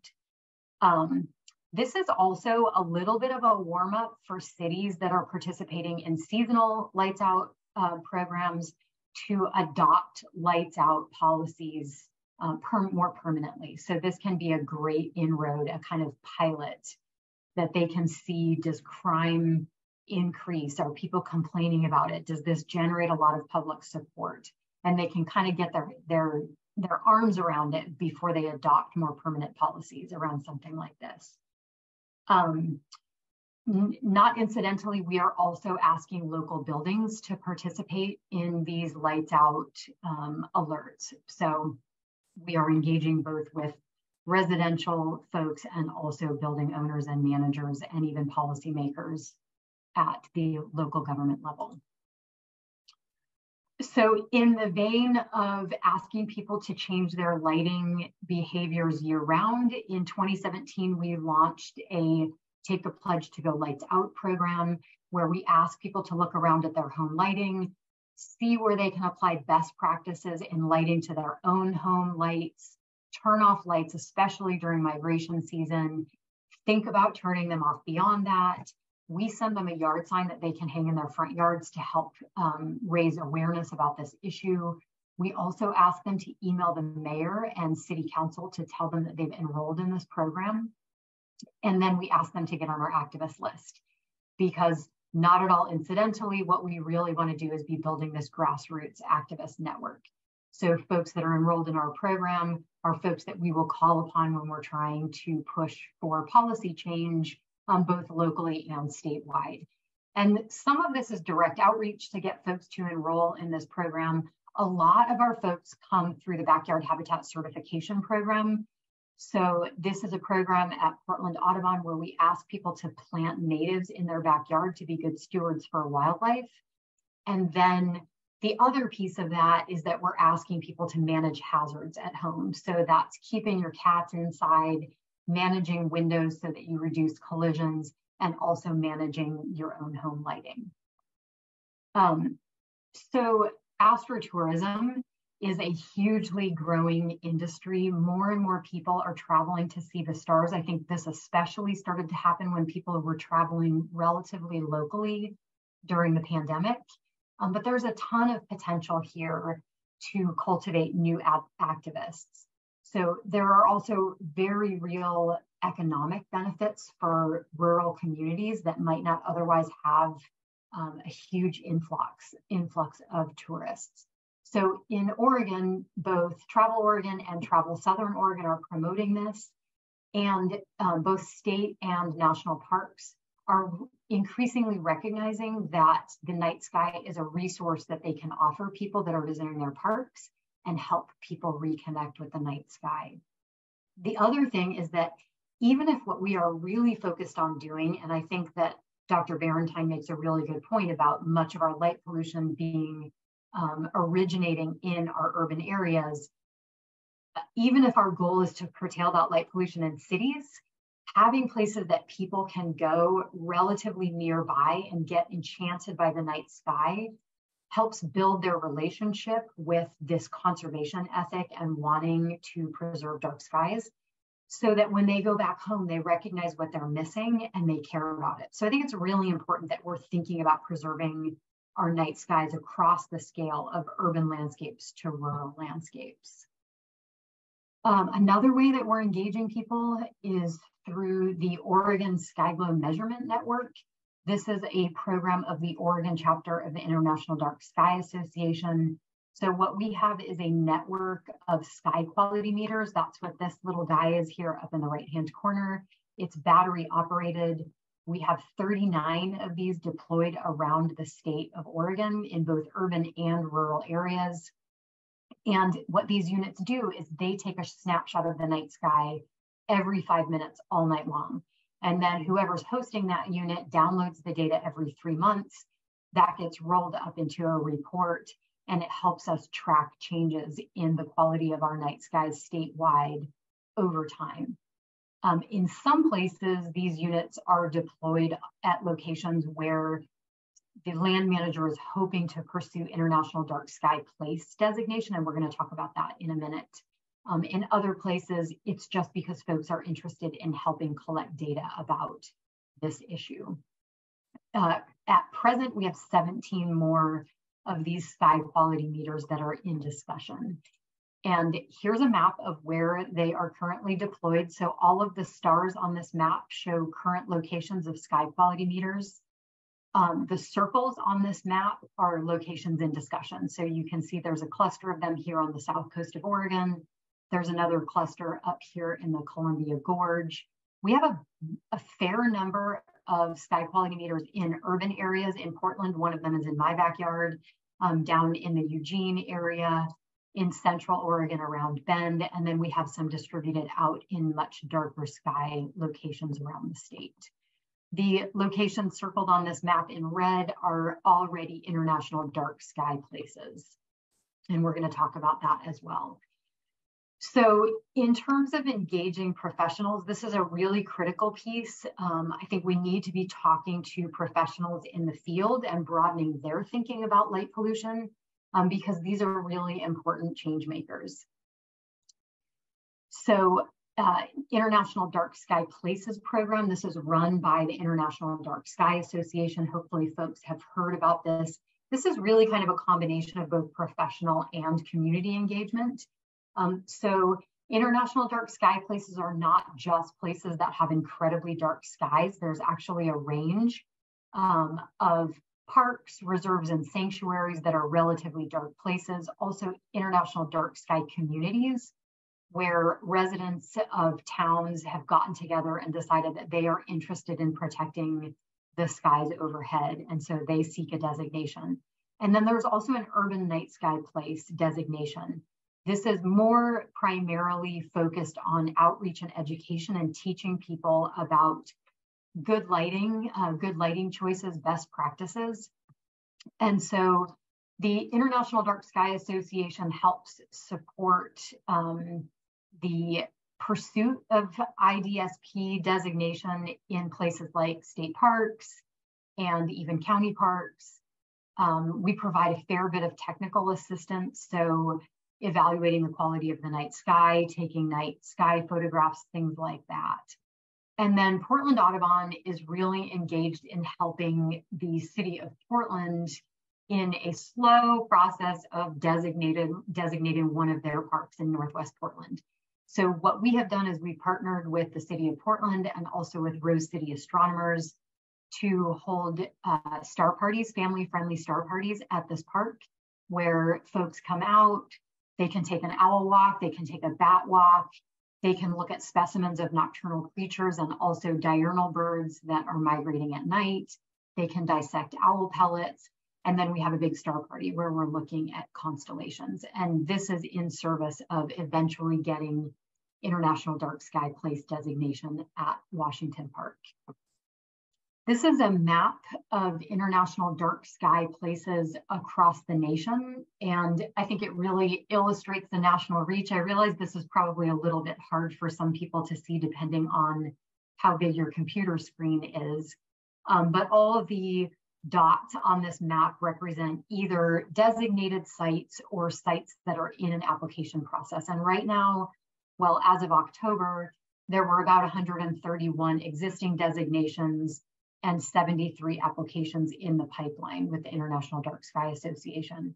Um, interestingly, about 15 of those are in urban locations, and about 60 of those represent communities that are interested in protecting their own night skies. Okay, so another way that we're engaging professionals um, is providing continuing education for architects and landscape architects. Um, this helps raise awareness for them about issues that they may encounter as they're doing projects. It starts to build buy in from them. And this is really invaluable because if you have professionals pushing back against you when you're working on policy creation or even voluntary programs, that's going to make it so much harder to affect change. So, getting out there, providing continuing education for the professionals getting them on board. This is hugely important. Um, another thing that we do is we work with local schools. So the Portland State University School of Architecture program, also the University of Oregon School of Architecture program. We're going into classrooms. We're um, helping the educators talk to students about real issues that are happening out on the landscape. And we are starting to, let's say, indoctrinate the next generation of professionals with some of this thinking. We're really starting to shift the paradigms about glassy buildings and about how we design our lighting so that these students that are soon to be professionals in the field have some facility with it and are really already bought in. Um, also, organizing and participating in forums and symposia is a great way to educate our colleagues and, our, and other professionals. So here in Portland, we have something called the Urban Ecology Research Consortium that happens annually. Uh, Dr. Longcore has been up to give a keynote talk at one of those UERC events, and we've presented there on collisions and light pollution. A few years ago, the International Urban Wildlife Com uh, Conference was in Portland, and I put together a panel. Uh, Dr. Chris Sheppard was in attendance at that to talk about collisions. So these are all really important ways that we can engage professionals. I'll also mention that in 2012, we developed a resource guide for bird-friendly building design. This was based on a template that Dr. Sheppard created at American Bird Conservancy. We created a process for customizing that for the city of Portland, and we brought together a really large team of professionals, architects, landscape designers, um, planners, glass manufacturers, to sit in on this process of customizing this document because we really wanted to raise awareness and start to develop some local buy-in. Okay, and now we get to policy development, um, which brings us back to the opening from Assembly Member Lee and thinking about what we can do in the policy arena. Um, so folks probably have had some experience with this and know that policy development is really a long game we rarely get what we want on the first push. So you got to have stamina for incremental process um, because that's often the way that we're affecting change. It gets incredibly, incredibly easier as others get out in front of us and change the status quo. But when we're on the leading edge of this, it really takes a lot of time and a lot of runs at this kind of thing. So this is just a brief timeline to illustrate the work that we've been doing in Portland since about 2009.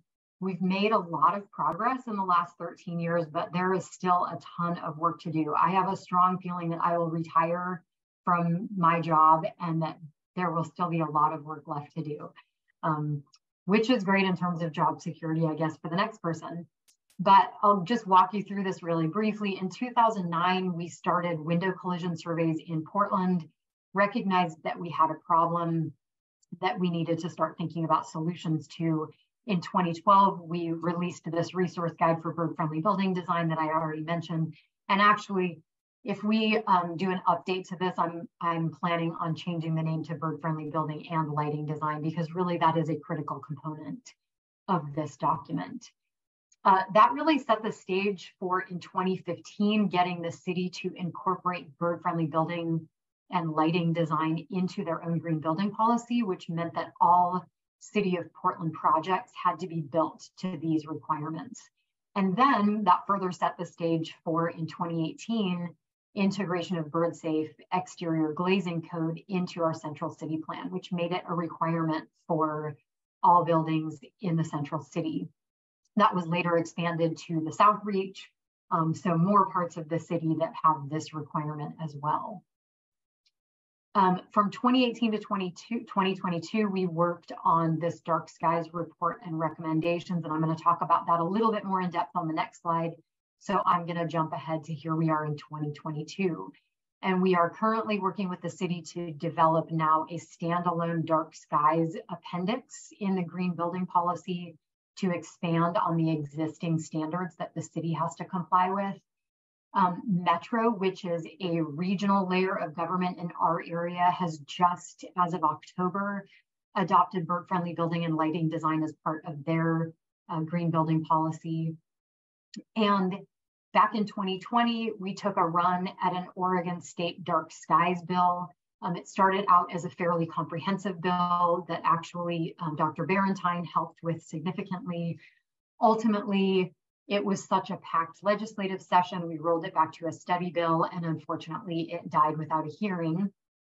But here we are at 2022, and we are taking another run at a state dark skies bill. I can tell you we had our eyes very closely on um, the bill that Assemblymember Lee had brought forward, and we were really hoping that um, Governor Newsom was going to sign that into law and that that was going to grease the skids for our efforts up north up here. And unfortunately, that didn't happen. So we are all, you know, still in this incremental process uh, progress phase.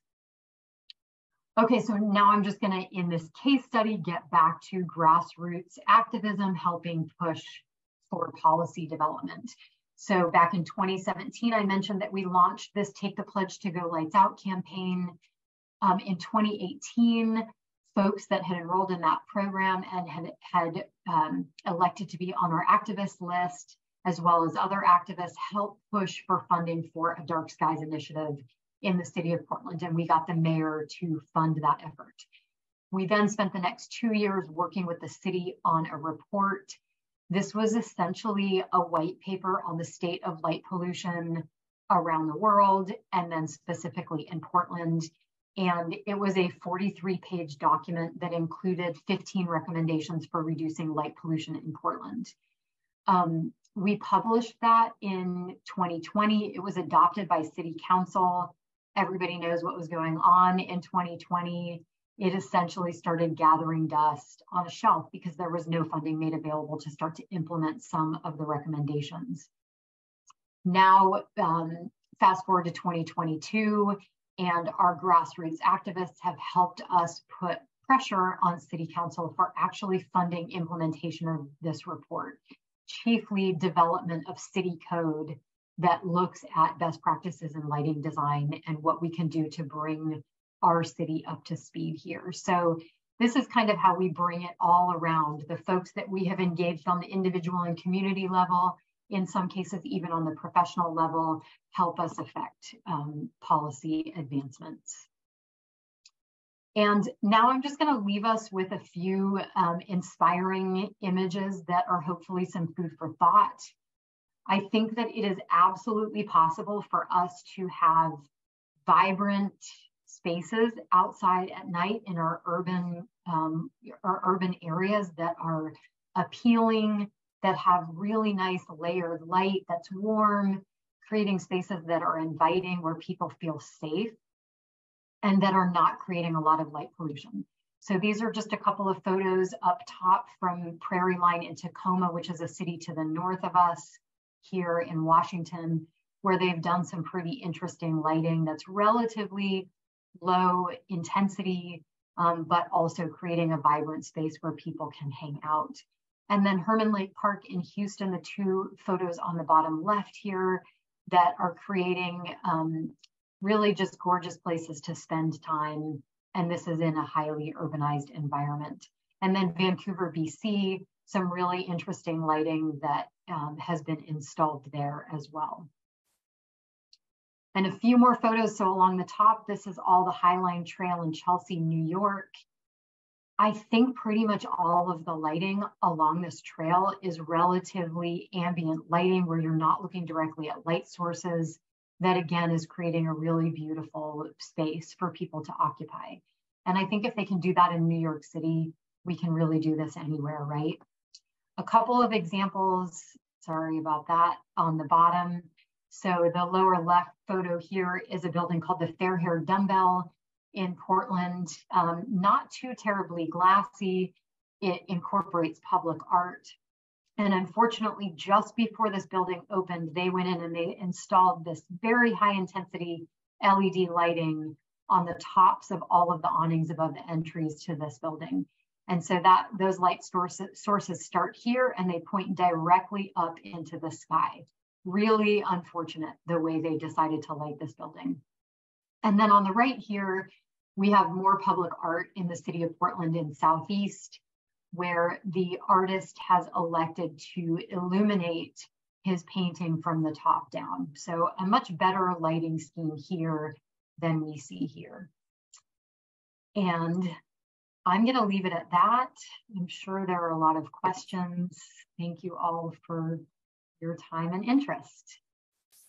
Thank you so much, Ms. Coolidge. It was very helpful to hear about how the Portland metro area and the state are protecting birds and whole ecosystems by curbing light pollution.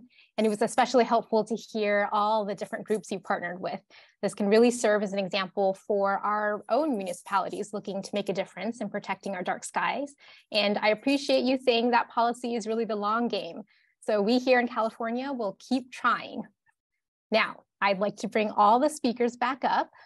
Thank you all so much for your illuminating, or should I say dimming presentations. Uh, for those of us familiar with this topic, the four of you really are celebrities, and this feels like a celebrity moment for me to be able to have all of you in a Zoom together. So thank you so much. And for this final portion of our program, I'd like to bring Dasha Leeds into the room to moderate our Q&A discussion. Mr. Leeds is the conservation organizer for the Sierra Club Loma Prieta chapter. He has been an advocate for dark sky policies for four years and really helped push for the city of Cupertino's now adopted dark sky ordinance. We have quite a few audience questions already, um, but feel free to continue asking them in the Q&A section of Zoom. If we don't get to all the questions, we will try to get some written answers from our speakers that we'll send out in a follow-up email. So I will turn it over to you, Mr. Leeds. Take it away. Awesome. Thank you so much, Annie. Um, we've got a lot of questions here, so I'm just going to get started. Um, the first question will be uh, directed to all of the panelists, so anyone feel free to hop into this one. Um, this question comes from Pat Peralta, uh, who asks, is the issue of light pollution part of the overall global environment and climate change discussion? Yes, Pat, in short, it is. Uh, we're in a little bit different situation than we would have been a few years ago because of how much LED light there is out there in the world now. In the old days, uh, outdoor lighting was a lot less energy efficient than it is now, and we could draw a more direct line to influences like climate change. Um, but uh, even that being said, and I kind of implied earlier in my talk that LED lighting was part of this problem. And uh, by making it cheaper to consume light, it's prompting people to consume more. And it's possible that the environmental benefits have really been undercut because of the overconsumption of light. So I would say any opportunity we have to save on energy use by reducing our consumption of light at night, no matter what the type of light, no matter where we get our energy from, it's going to be better for the environment and it will be better in reducing climate change. Awesome, thank you. Um, we'll move on to our next question. Um, this question is directed specifically for uh, Dr. Longcore. This comes from Allison Hicks. Uh, can you comment on the effects of uh, night light on human health? I find that information uh, is an additional motivator for policymakers and potential community advocates. I was personally told by my health provider to sleep in complete dark to prevent the recurrence of hormonally activated breast cancer. Yeah, so that's a whole nother, you know, hour talk. Um, so we have circadian rhythms just like uh, every other uh, you know, species pretty much on the planet. And disrupting them has adverse consequences. Some of the ones that we know the best uh, do in fact have to do with um, hormonal cancers like breast cancer. And that's, um, we know this both from a uh, epidemiological perspective, meaning we have large populations of people who don't get uh, to sleep during the, the nighttime hours in the form of shift workers, and we and and and demonstrate higher uh, cancer rates with them. We have studies showing an associate, a statistical association between uh, satellite measured light at night and um, adverse health outcomes, including including um, sleep, which has a whole series of, of cascading health impacts from it. That, that includes studies like when we had came out just last year, this year, something of the California teachers study where we looked at the effects of uh, light at night, uh, air quality, uh, noise, anthropogenic noise, and access to green space altogether. And even when you account for all the, those other things, there is still a significant signal in terms of sleep uh, quality for people who are in areas that have excess uh, higher levels of light at night.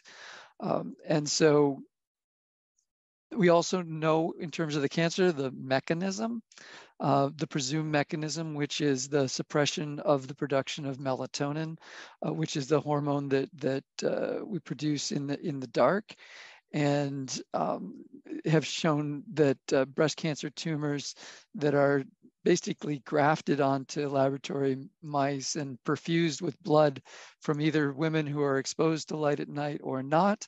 Uh, the ones exposed to light at night have low melatonin levels. Those tumors grow. The ones that don't have light at night have high melatonin levels and it keeps the tumors from growing. So melatonin is called an oncostatic hormone. It keeps cancers from, from growing. You may have an incipient tumor, but it doesn't go anywhere if you've got uh, the right amount of melatonin. There are those who still would argue we don't have the smoking gun to conclusively prove uh, that uh, the way in which light is affecting health. Uh, but then again, it's incredibly difficult to get that just the way it's incredibly difficult to get it for smoking and cancer. Um, at a certain point when the epidemiological literature is consistent with the laboratory mechanistic studies, um, eh, you, you, you, kind of take the precautionary approach and uh, try to reduce the light at night for health, human health reasons as well. So there's plenty of research out there. That's just the, the tiniest little introduction from a geographer who's taught himself um, epidemiology as a side benefit of working on light at night. Awesome. Thank you for that answer, Dr. Longcore.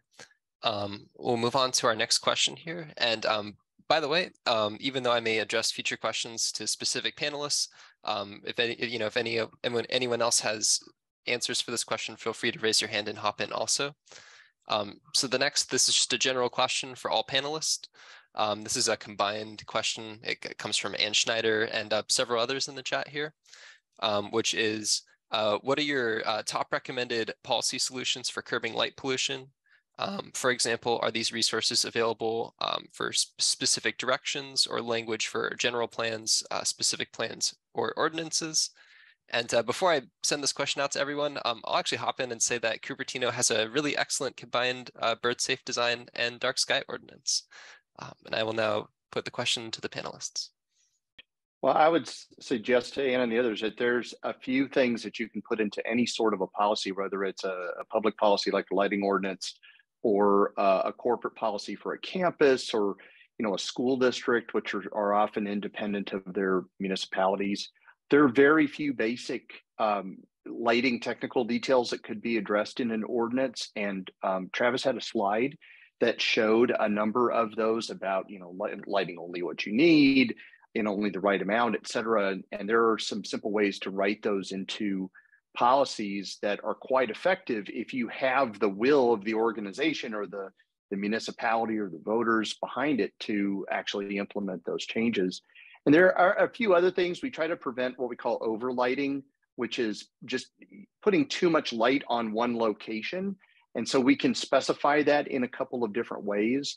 Lighting curfews to where you say that after a certain hour of night, most lighting has to be either dimmed or completely extinguished. That can be very um, effective.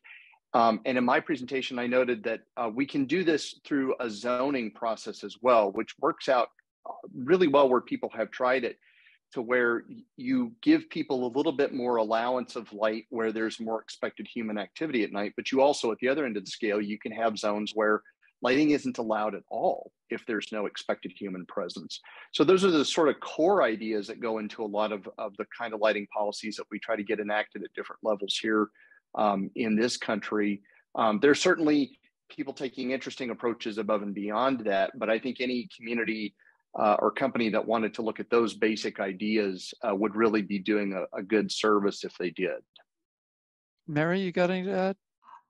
You know, I have long looked to Dr. Barentine for uh, all of the recommendations in terms of lighting ordinances and recommendations. So I think I'll leave it to his expertise. Yeah.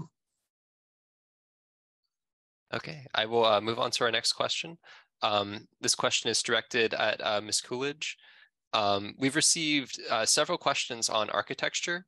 Um, and so how do we approach architectural design um, for schools or institutes? And um, how do we educate uh, professional architecture organizations?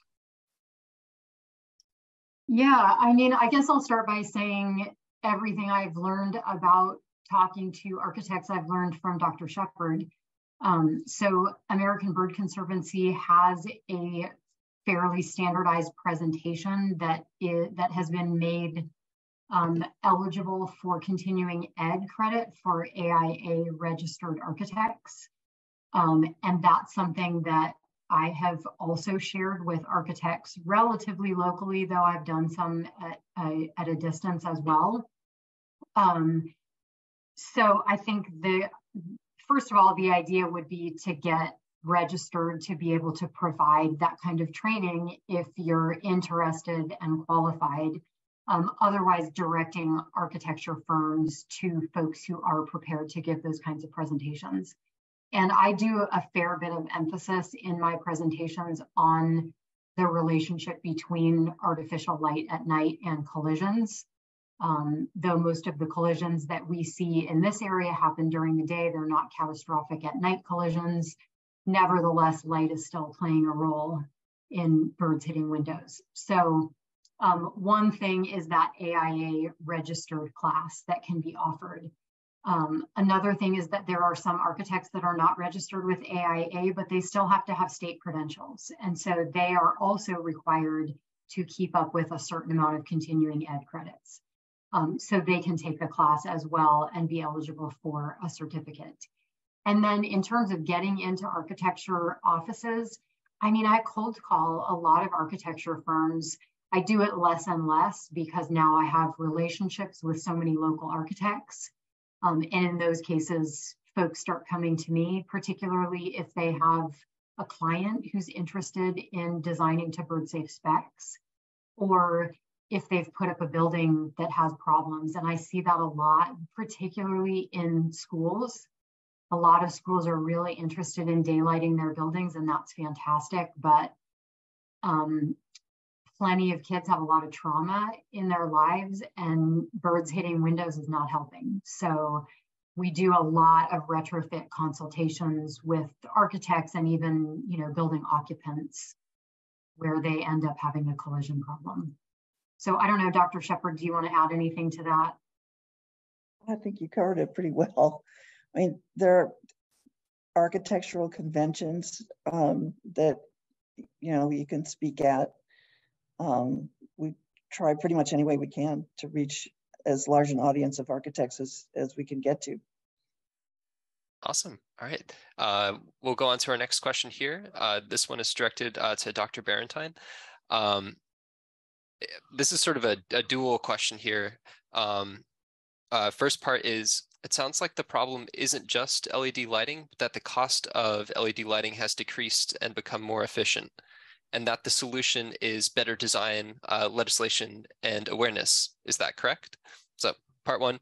And then um, part two is, uh, is there a cost difference between LED fixtures that provide responsible lighting and those that are creating the light pollution?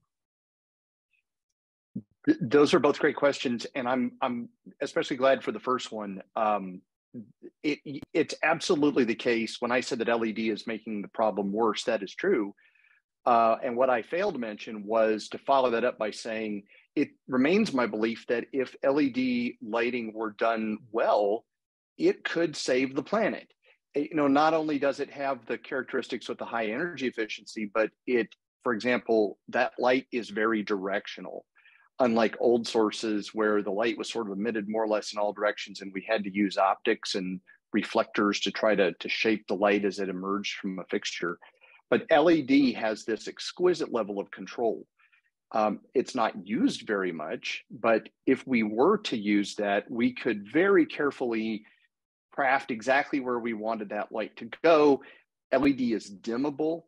Um, earlier technologies that were used for, for wide area lighting did not have that capability. You couldn't really drop the light down below a certain level without actually changing the, the fixture or changing the brightness of the lamp.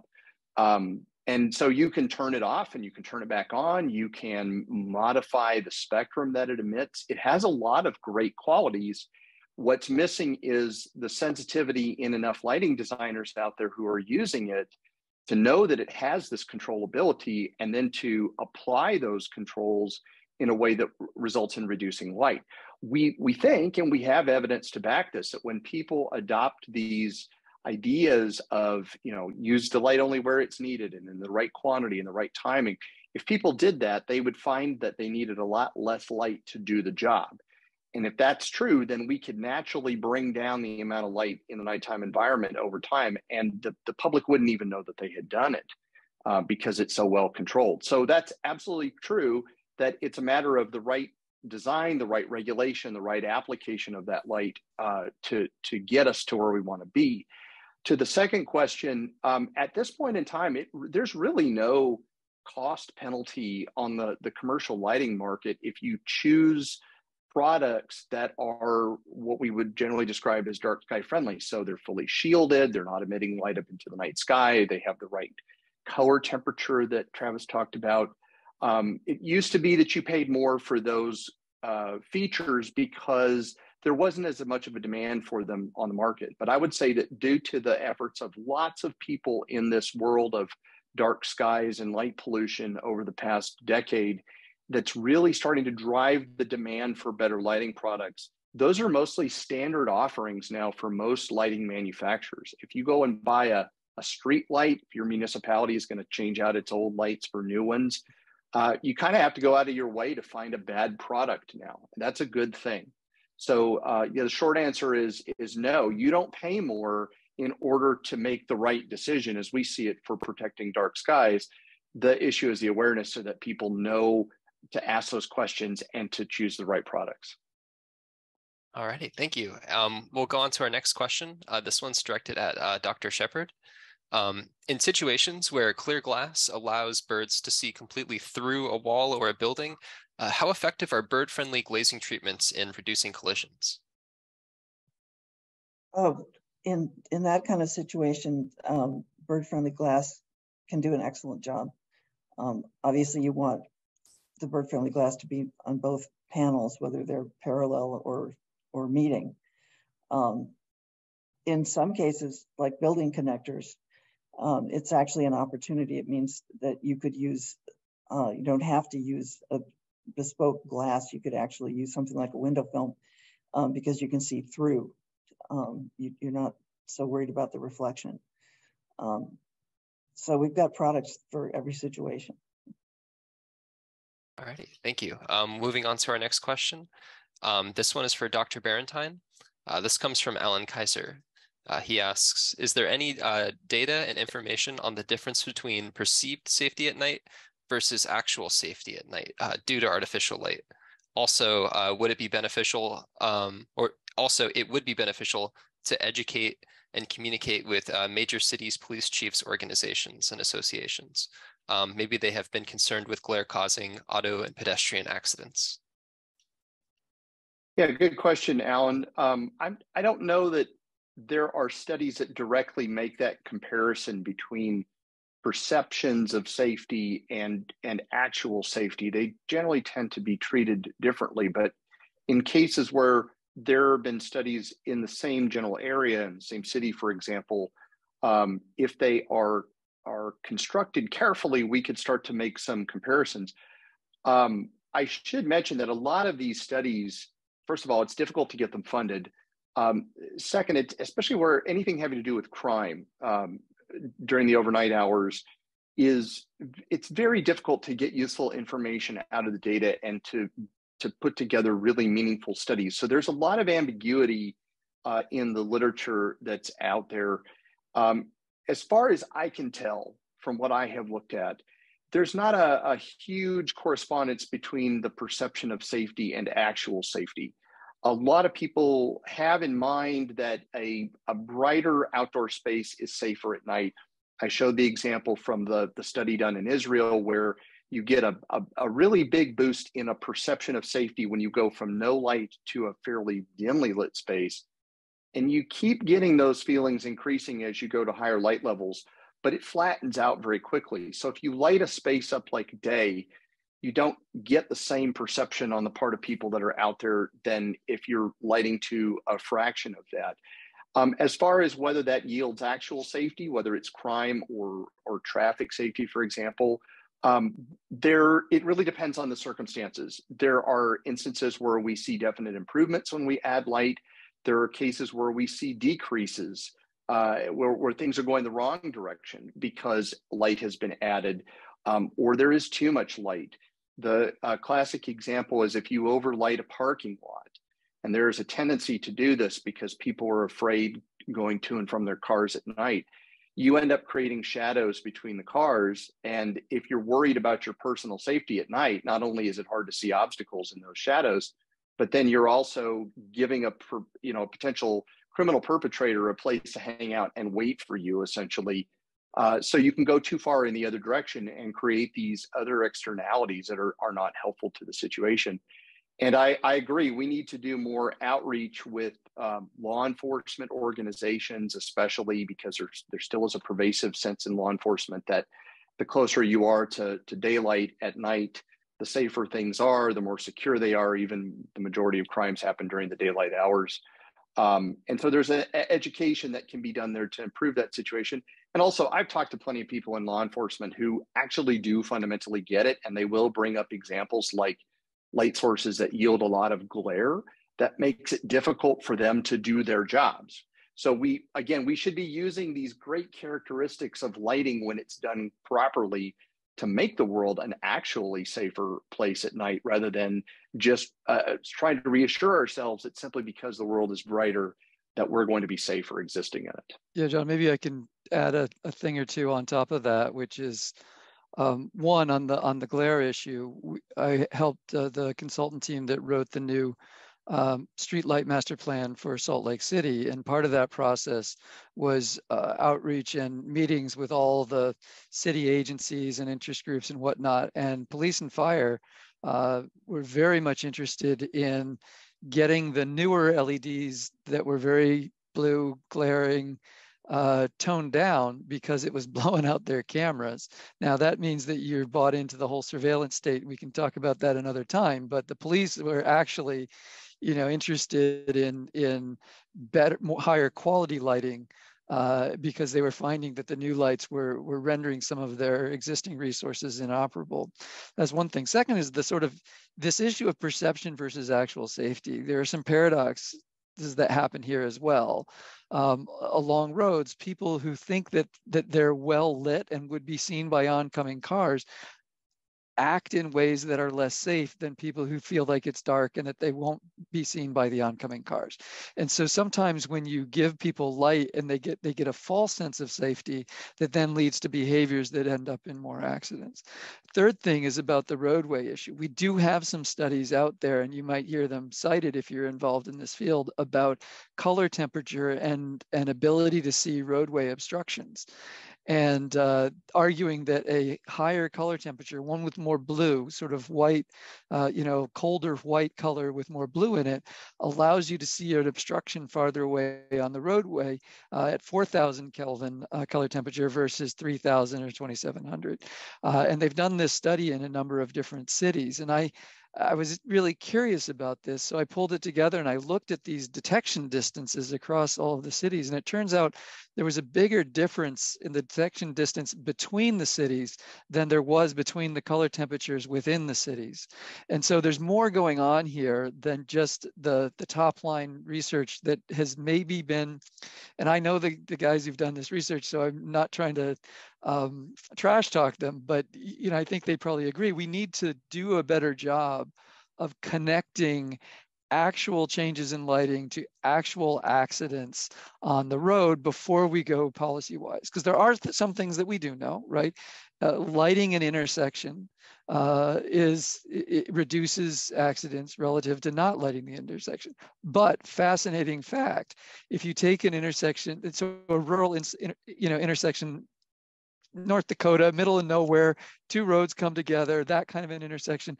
If you just put a stoplight there and no street lighting, you reduce the accidents far, far, far more than by illuminating it. So sometimes the, the, the choice that is given to us is between you either light this up bright, you know, to standards or you don't light at all. When there may be actually a third choice that's safer, um, that that actually produces less less um, less um, adverse consequences in terms of light pollution. So this is uh, an area, luckily, and I think you know John would agree because he's on some of these committees too, where we, we're finally at a point internationally now where the roadway safety people and the light pollution folks who, and the sometimes the medical circadian rhythm researchers and whatnot we're all finally getting on the same committees in the same room to hash these things out together whereas in the past the roadway lighting recommendations from the international I, i'm sorry the illuminating engineering society for example it was in john's presentation is like these are not science-based recommendations because the process to make those recommendations was the people on the committee had to come to unanimous consent about what the standard was going to be. So any one person on the committee who could be Joe, and it usually was a Joe, um, lighting guy from Nebraska, um, or wherever it might be, nothing against Nebraska, just using as at random state, um, could say, no, I think it should be brighter. And, in, and if he held firm the, the recommendations ultimately would say what they said. It didn't have to be connected to any scientific finding whatsoever. So we're in the beginning stages, I believe, of, of an overhaul of these kinds of regulations so that scientists, biologists, traffic safety are in the room and trying to make sure that these recommendations are at least science-based um, and, and not simply these are the 10 people around the country who work in lighting and they think this is how bright your road should be sorry IES to undermine your previous pro processes, but that's literally how it worked. All right, thank you. Uh, we'll go on to the next question here. Uh, this one is for Dr. Sheppard. Um, where can we source bird-friendly glass for home projects? Uh, for example, Ornilux has great UV reflective patterns on glass, but they're in Europe and it's unclear to me how to actually get, say, triple pane windows, sorry, it's unclear to me how to actually get, say, triple pane windows, which incorporate this glass for homes in California and Colorado. Yeah, at this point, it's very difficult to get uh, bird-friendly glass in home windows. And um, it's always a, a, custom job and it always costs a lot. Um, in, in many ways, it's actually more effective to use a retrofit um, to design your house to incorporate um, one of the solutions that you can put on existing glass. Um, so, you know, there you can use anything from external solar shading um, to, um, if you know what an Acopian bird saver is, you can actually make them retractable. Um, you, you don't necessarily need uh, bird-friendly glass, and it tends to be manufactured, as you say, um, to go into insulated glass units. So it, it doesn't actually fit into the frames that are used for home windows. Um, there is some interest at this point on the part of the glass industry in creating bird-friendly home windows, but I think it's going to be a while. Um, meanwhile, use external insect screens, you know, wherever you can. Yeah, I'll just add to that and say that Dr. Sheppard is right on the money. And I have had one experience where Audubon was renovating a property that we have up on Mount Hood, and I was insisting that the windows be bird friendly. And what we ended up having to do was source the glass from Glass Pro, which is a glass manufacturer in California that does make a UV product. And we sourced the frames from Jeld-Wen, a residential window maker, and we had a third party put them together.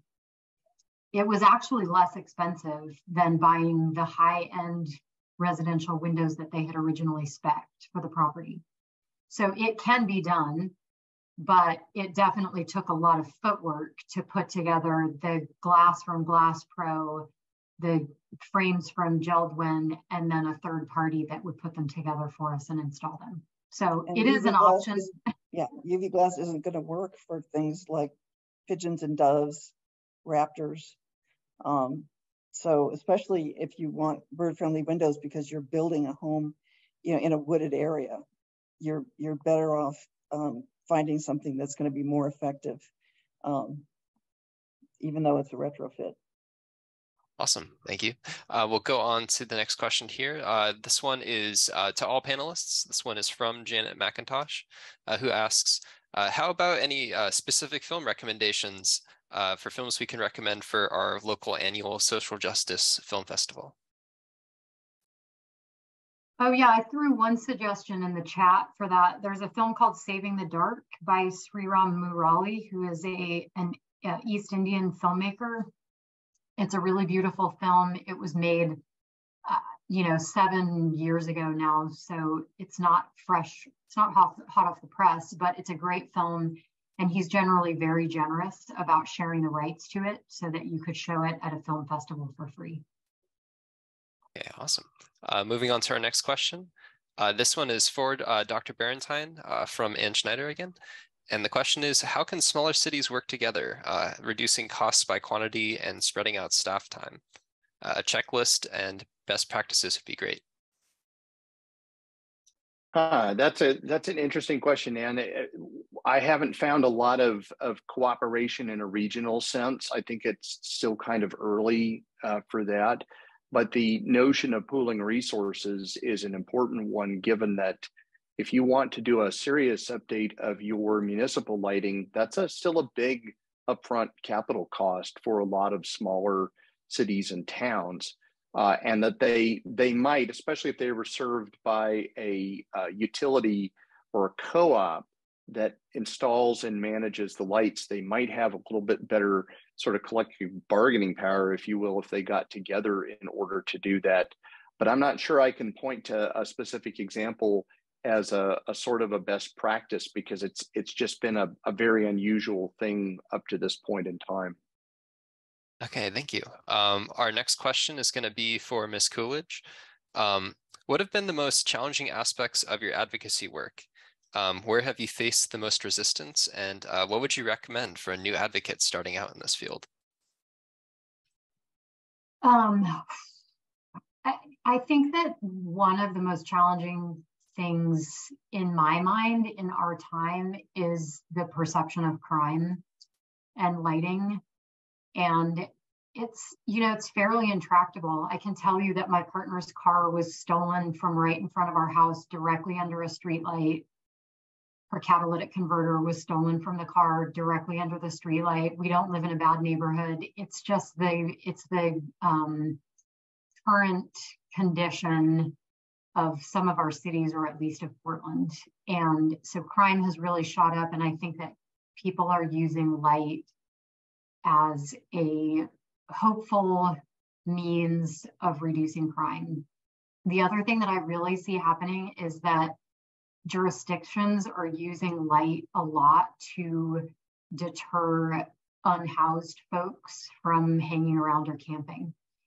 And at least where that is concerned and you know frankly from the crime standpoint as well the solutions have to be so much more thoughtful and nuanced and multifold rather than just this idea that if we shine a giant light on something we won't have more houseless people and we won't have crime um, so i think that that's one of the hardest things and you know i i really do think that that this issue of perception is so important because, you know, in many cases, we believe what we're told. There are so many ways in which there's kind of the status quo of group thinking, and we perpetuate that. And there's this idea that more light equals less crime. And I think that we have to figure out how we can start to shift that general um, that general thinking. I know I lead birding trips, and if you tell people they're having a great time and they've seen all kinds of great birds, they feel like they're having a great time and have seen all kinds of great birds. And if you tell people they're having a crappy time and we've missed all the good birds, that's exactly how they feel. It's uh, it's astonishing to me how much you can really influence the way that people feel about things just by speaking with authority. So I think you know there's this issue of talking with law enforcement that Dr. Barentine brought up and I think that's a really important place that we need to spend some time and energy is thinking about how we can start changing some of this overall messaging. Um, I think there was a second part of that question that was maybe about advice for advocates. And I think I would just say, you know, to build your relationships thoughtfully, um, you know, make them go into relationships intending to have them for a long time. Um, and, you know, make sure you're really, really building a pretty diverse coalition of folks who are working with you because it's going to take it's going to take every different direction of coming at this i think to really start to make a lot of change. Cool. All right i will uh, move on to the next question um, we've received several questions about specific types of lighting installations and this is for all panelists by the way um, questions about holiday lighting art uh, lighting stadiums rail stations airports and billboards um, do you know whether there are regulations that address uh, these diverse types of lighting already? I can say that there are there are spot examples in particular codes in different parts of the country that will address those. A lot of cities, if they have a lighting ordinance, for example, they probably have something about holiday lighting um, you know, putting some boundaries on the calendar dates when it can be up and, and either allowing or prohibiting certain kinds of lighting. Um, there are fewer examples for other very specific applications. You might see flagpoles as a, a type of, of lighting that's specified in an ordinance. Um, you might see distinctions made between uh, commercial and industrial type uh, zoned uses versus residential, and they might get different allowances for different sorts of of um, of applications. Uh, string lighting. So outside of the holiday period, uh, you'll see where, for example, restaurants with outdoor seating areas like to have the string lights for some ambient lighting, and and we really don't have a lot of good examples for how to regulate that. Um, sports facilities, the International Dark Sky Association publishes some guidelines for doing sports lighting as well as you can in a way that's sort of dark sky friendly that some communities are, are slowly beginning to take up. Uh, so it, it really depends. You can take any kind of, of application, no matter what it is, and you can apply these general principles that we've been talking about so far. Um, but it is true that you know the, the way you get into the particulars of a sports stadium is different than you would for holiday lighting. And we're still figuring this out as we go along. Um, one thing that I will add on to what Mary said about building your coalitions that relates to this is pick your battles. I advise uh, communities that are writing holiday lighting restrictions into their codes that don't already have them to not be the Grinch that stole Christmas because no one likes that person, right? Probably in the big scheme of things, holiday lights are not that big of a deal in terms of light pollution, and people like them. And when you try to take them away, people get upset about that to be honest i'm a lot more worried about the you know the floodlights on the side of a building that are running all night long every night of the year or the parking lot lights that are on at three o'clock in the morning when no one's parked there that's what i'm going to go after before i'm going to go after holiday lighting.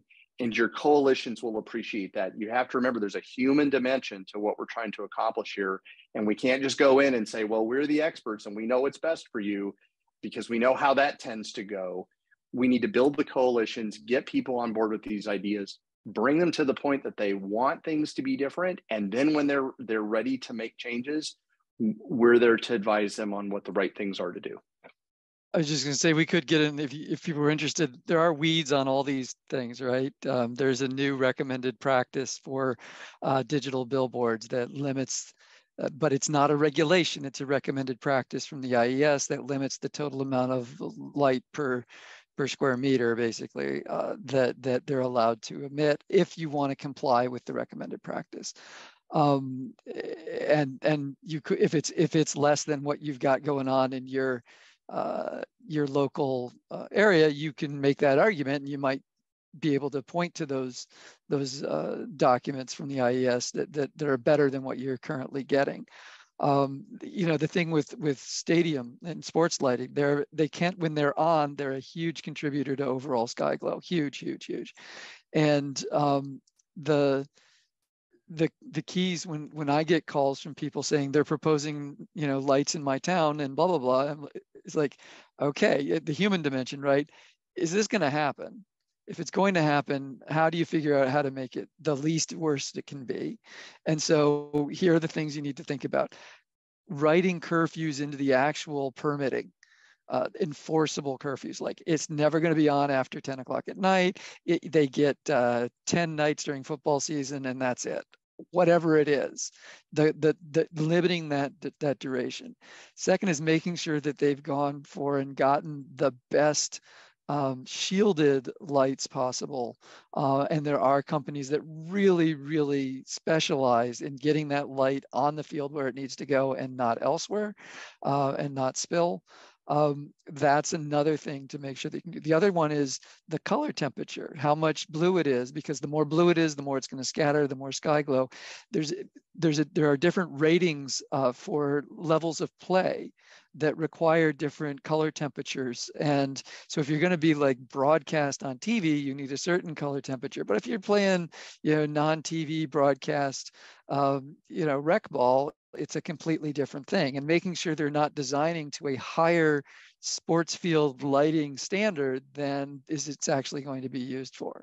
And then the other one is never believe anybody when they says an installation is going to be temporary. Make them make them make them get the permits from the start. It is never temporary. It always gets converted to permanent um, once once it's up.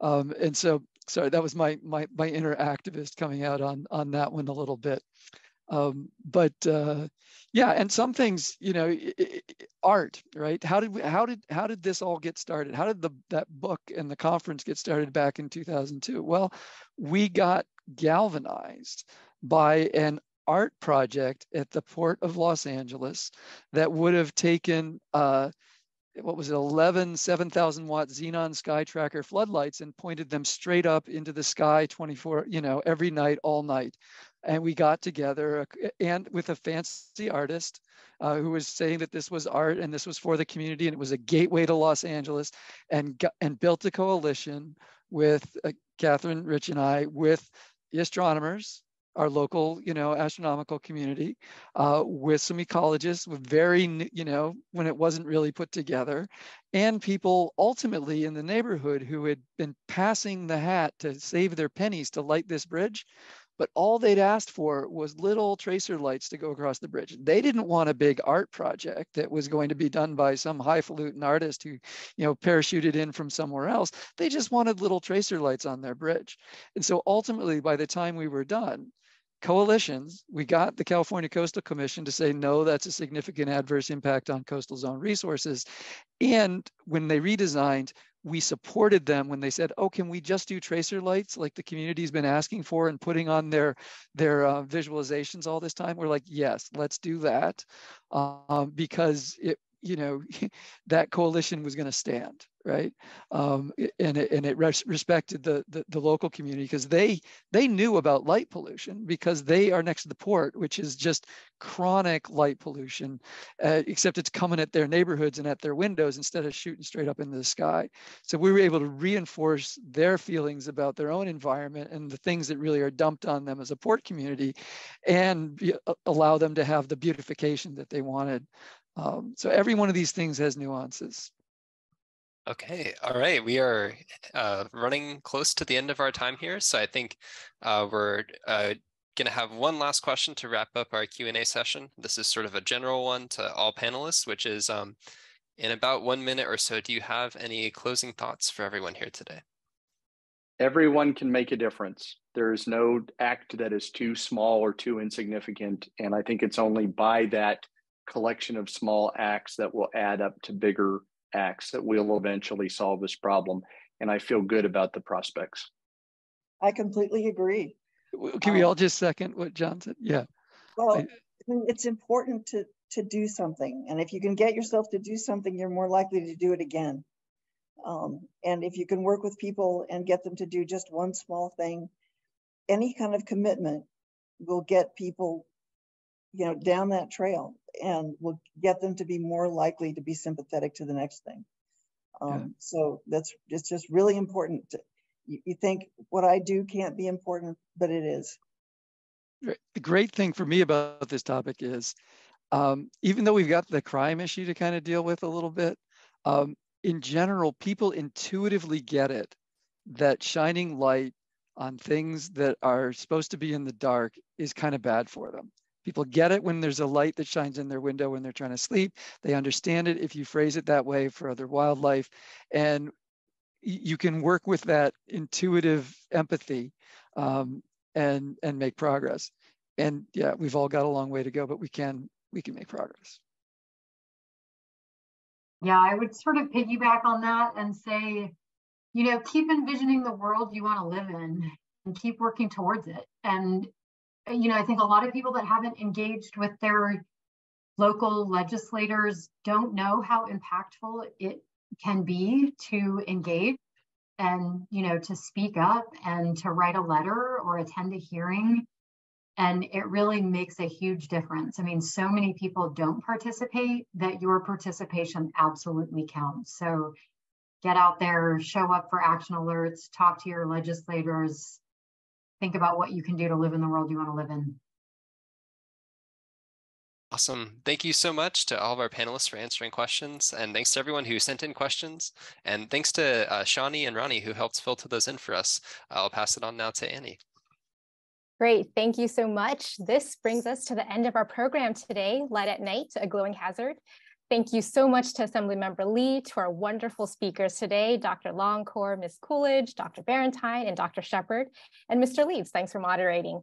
Thank you all to the organizations who support our symposium, and thank you to you, our audience members, for sticking with us for the last few hours. We hoped you learned more about the harmful effects of light at night and have taken away some strategies to mitigate this problem. And we hope we've inspired you and motivated you to go out and advocate for dark skies. So on behalf of the Santa Clara Valley Audubon Society and the Sierra Club Loma Prieta chapter and the Bay Alive campaign, we hope you will join us to make the Bay Area safer for wildlife and the environment and for us as residents. Thank you and have a good rest of your afternoon.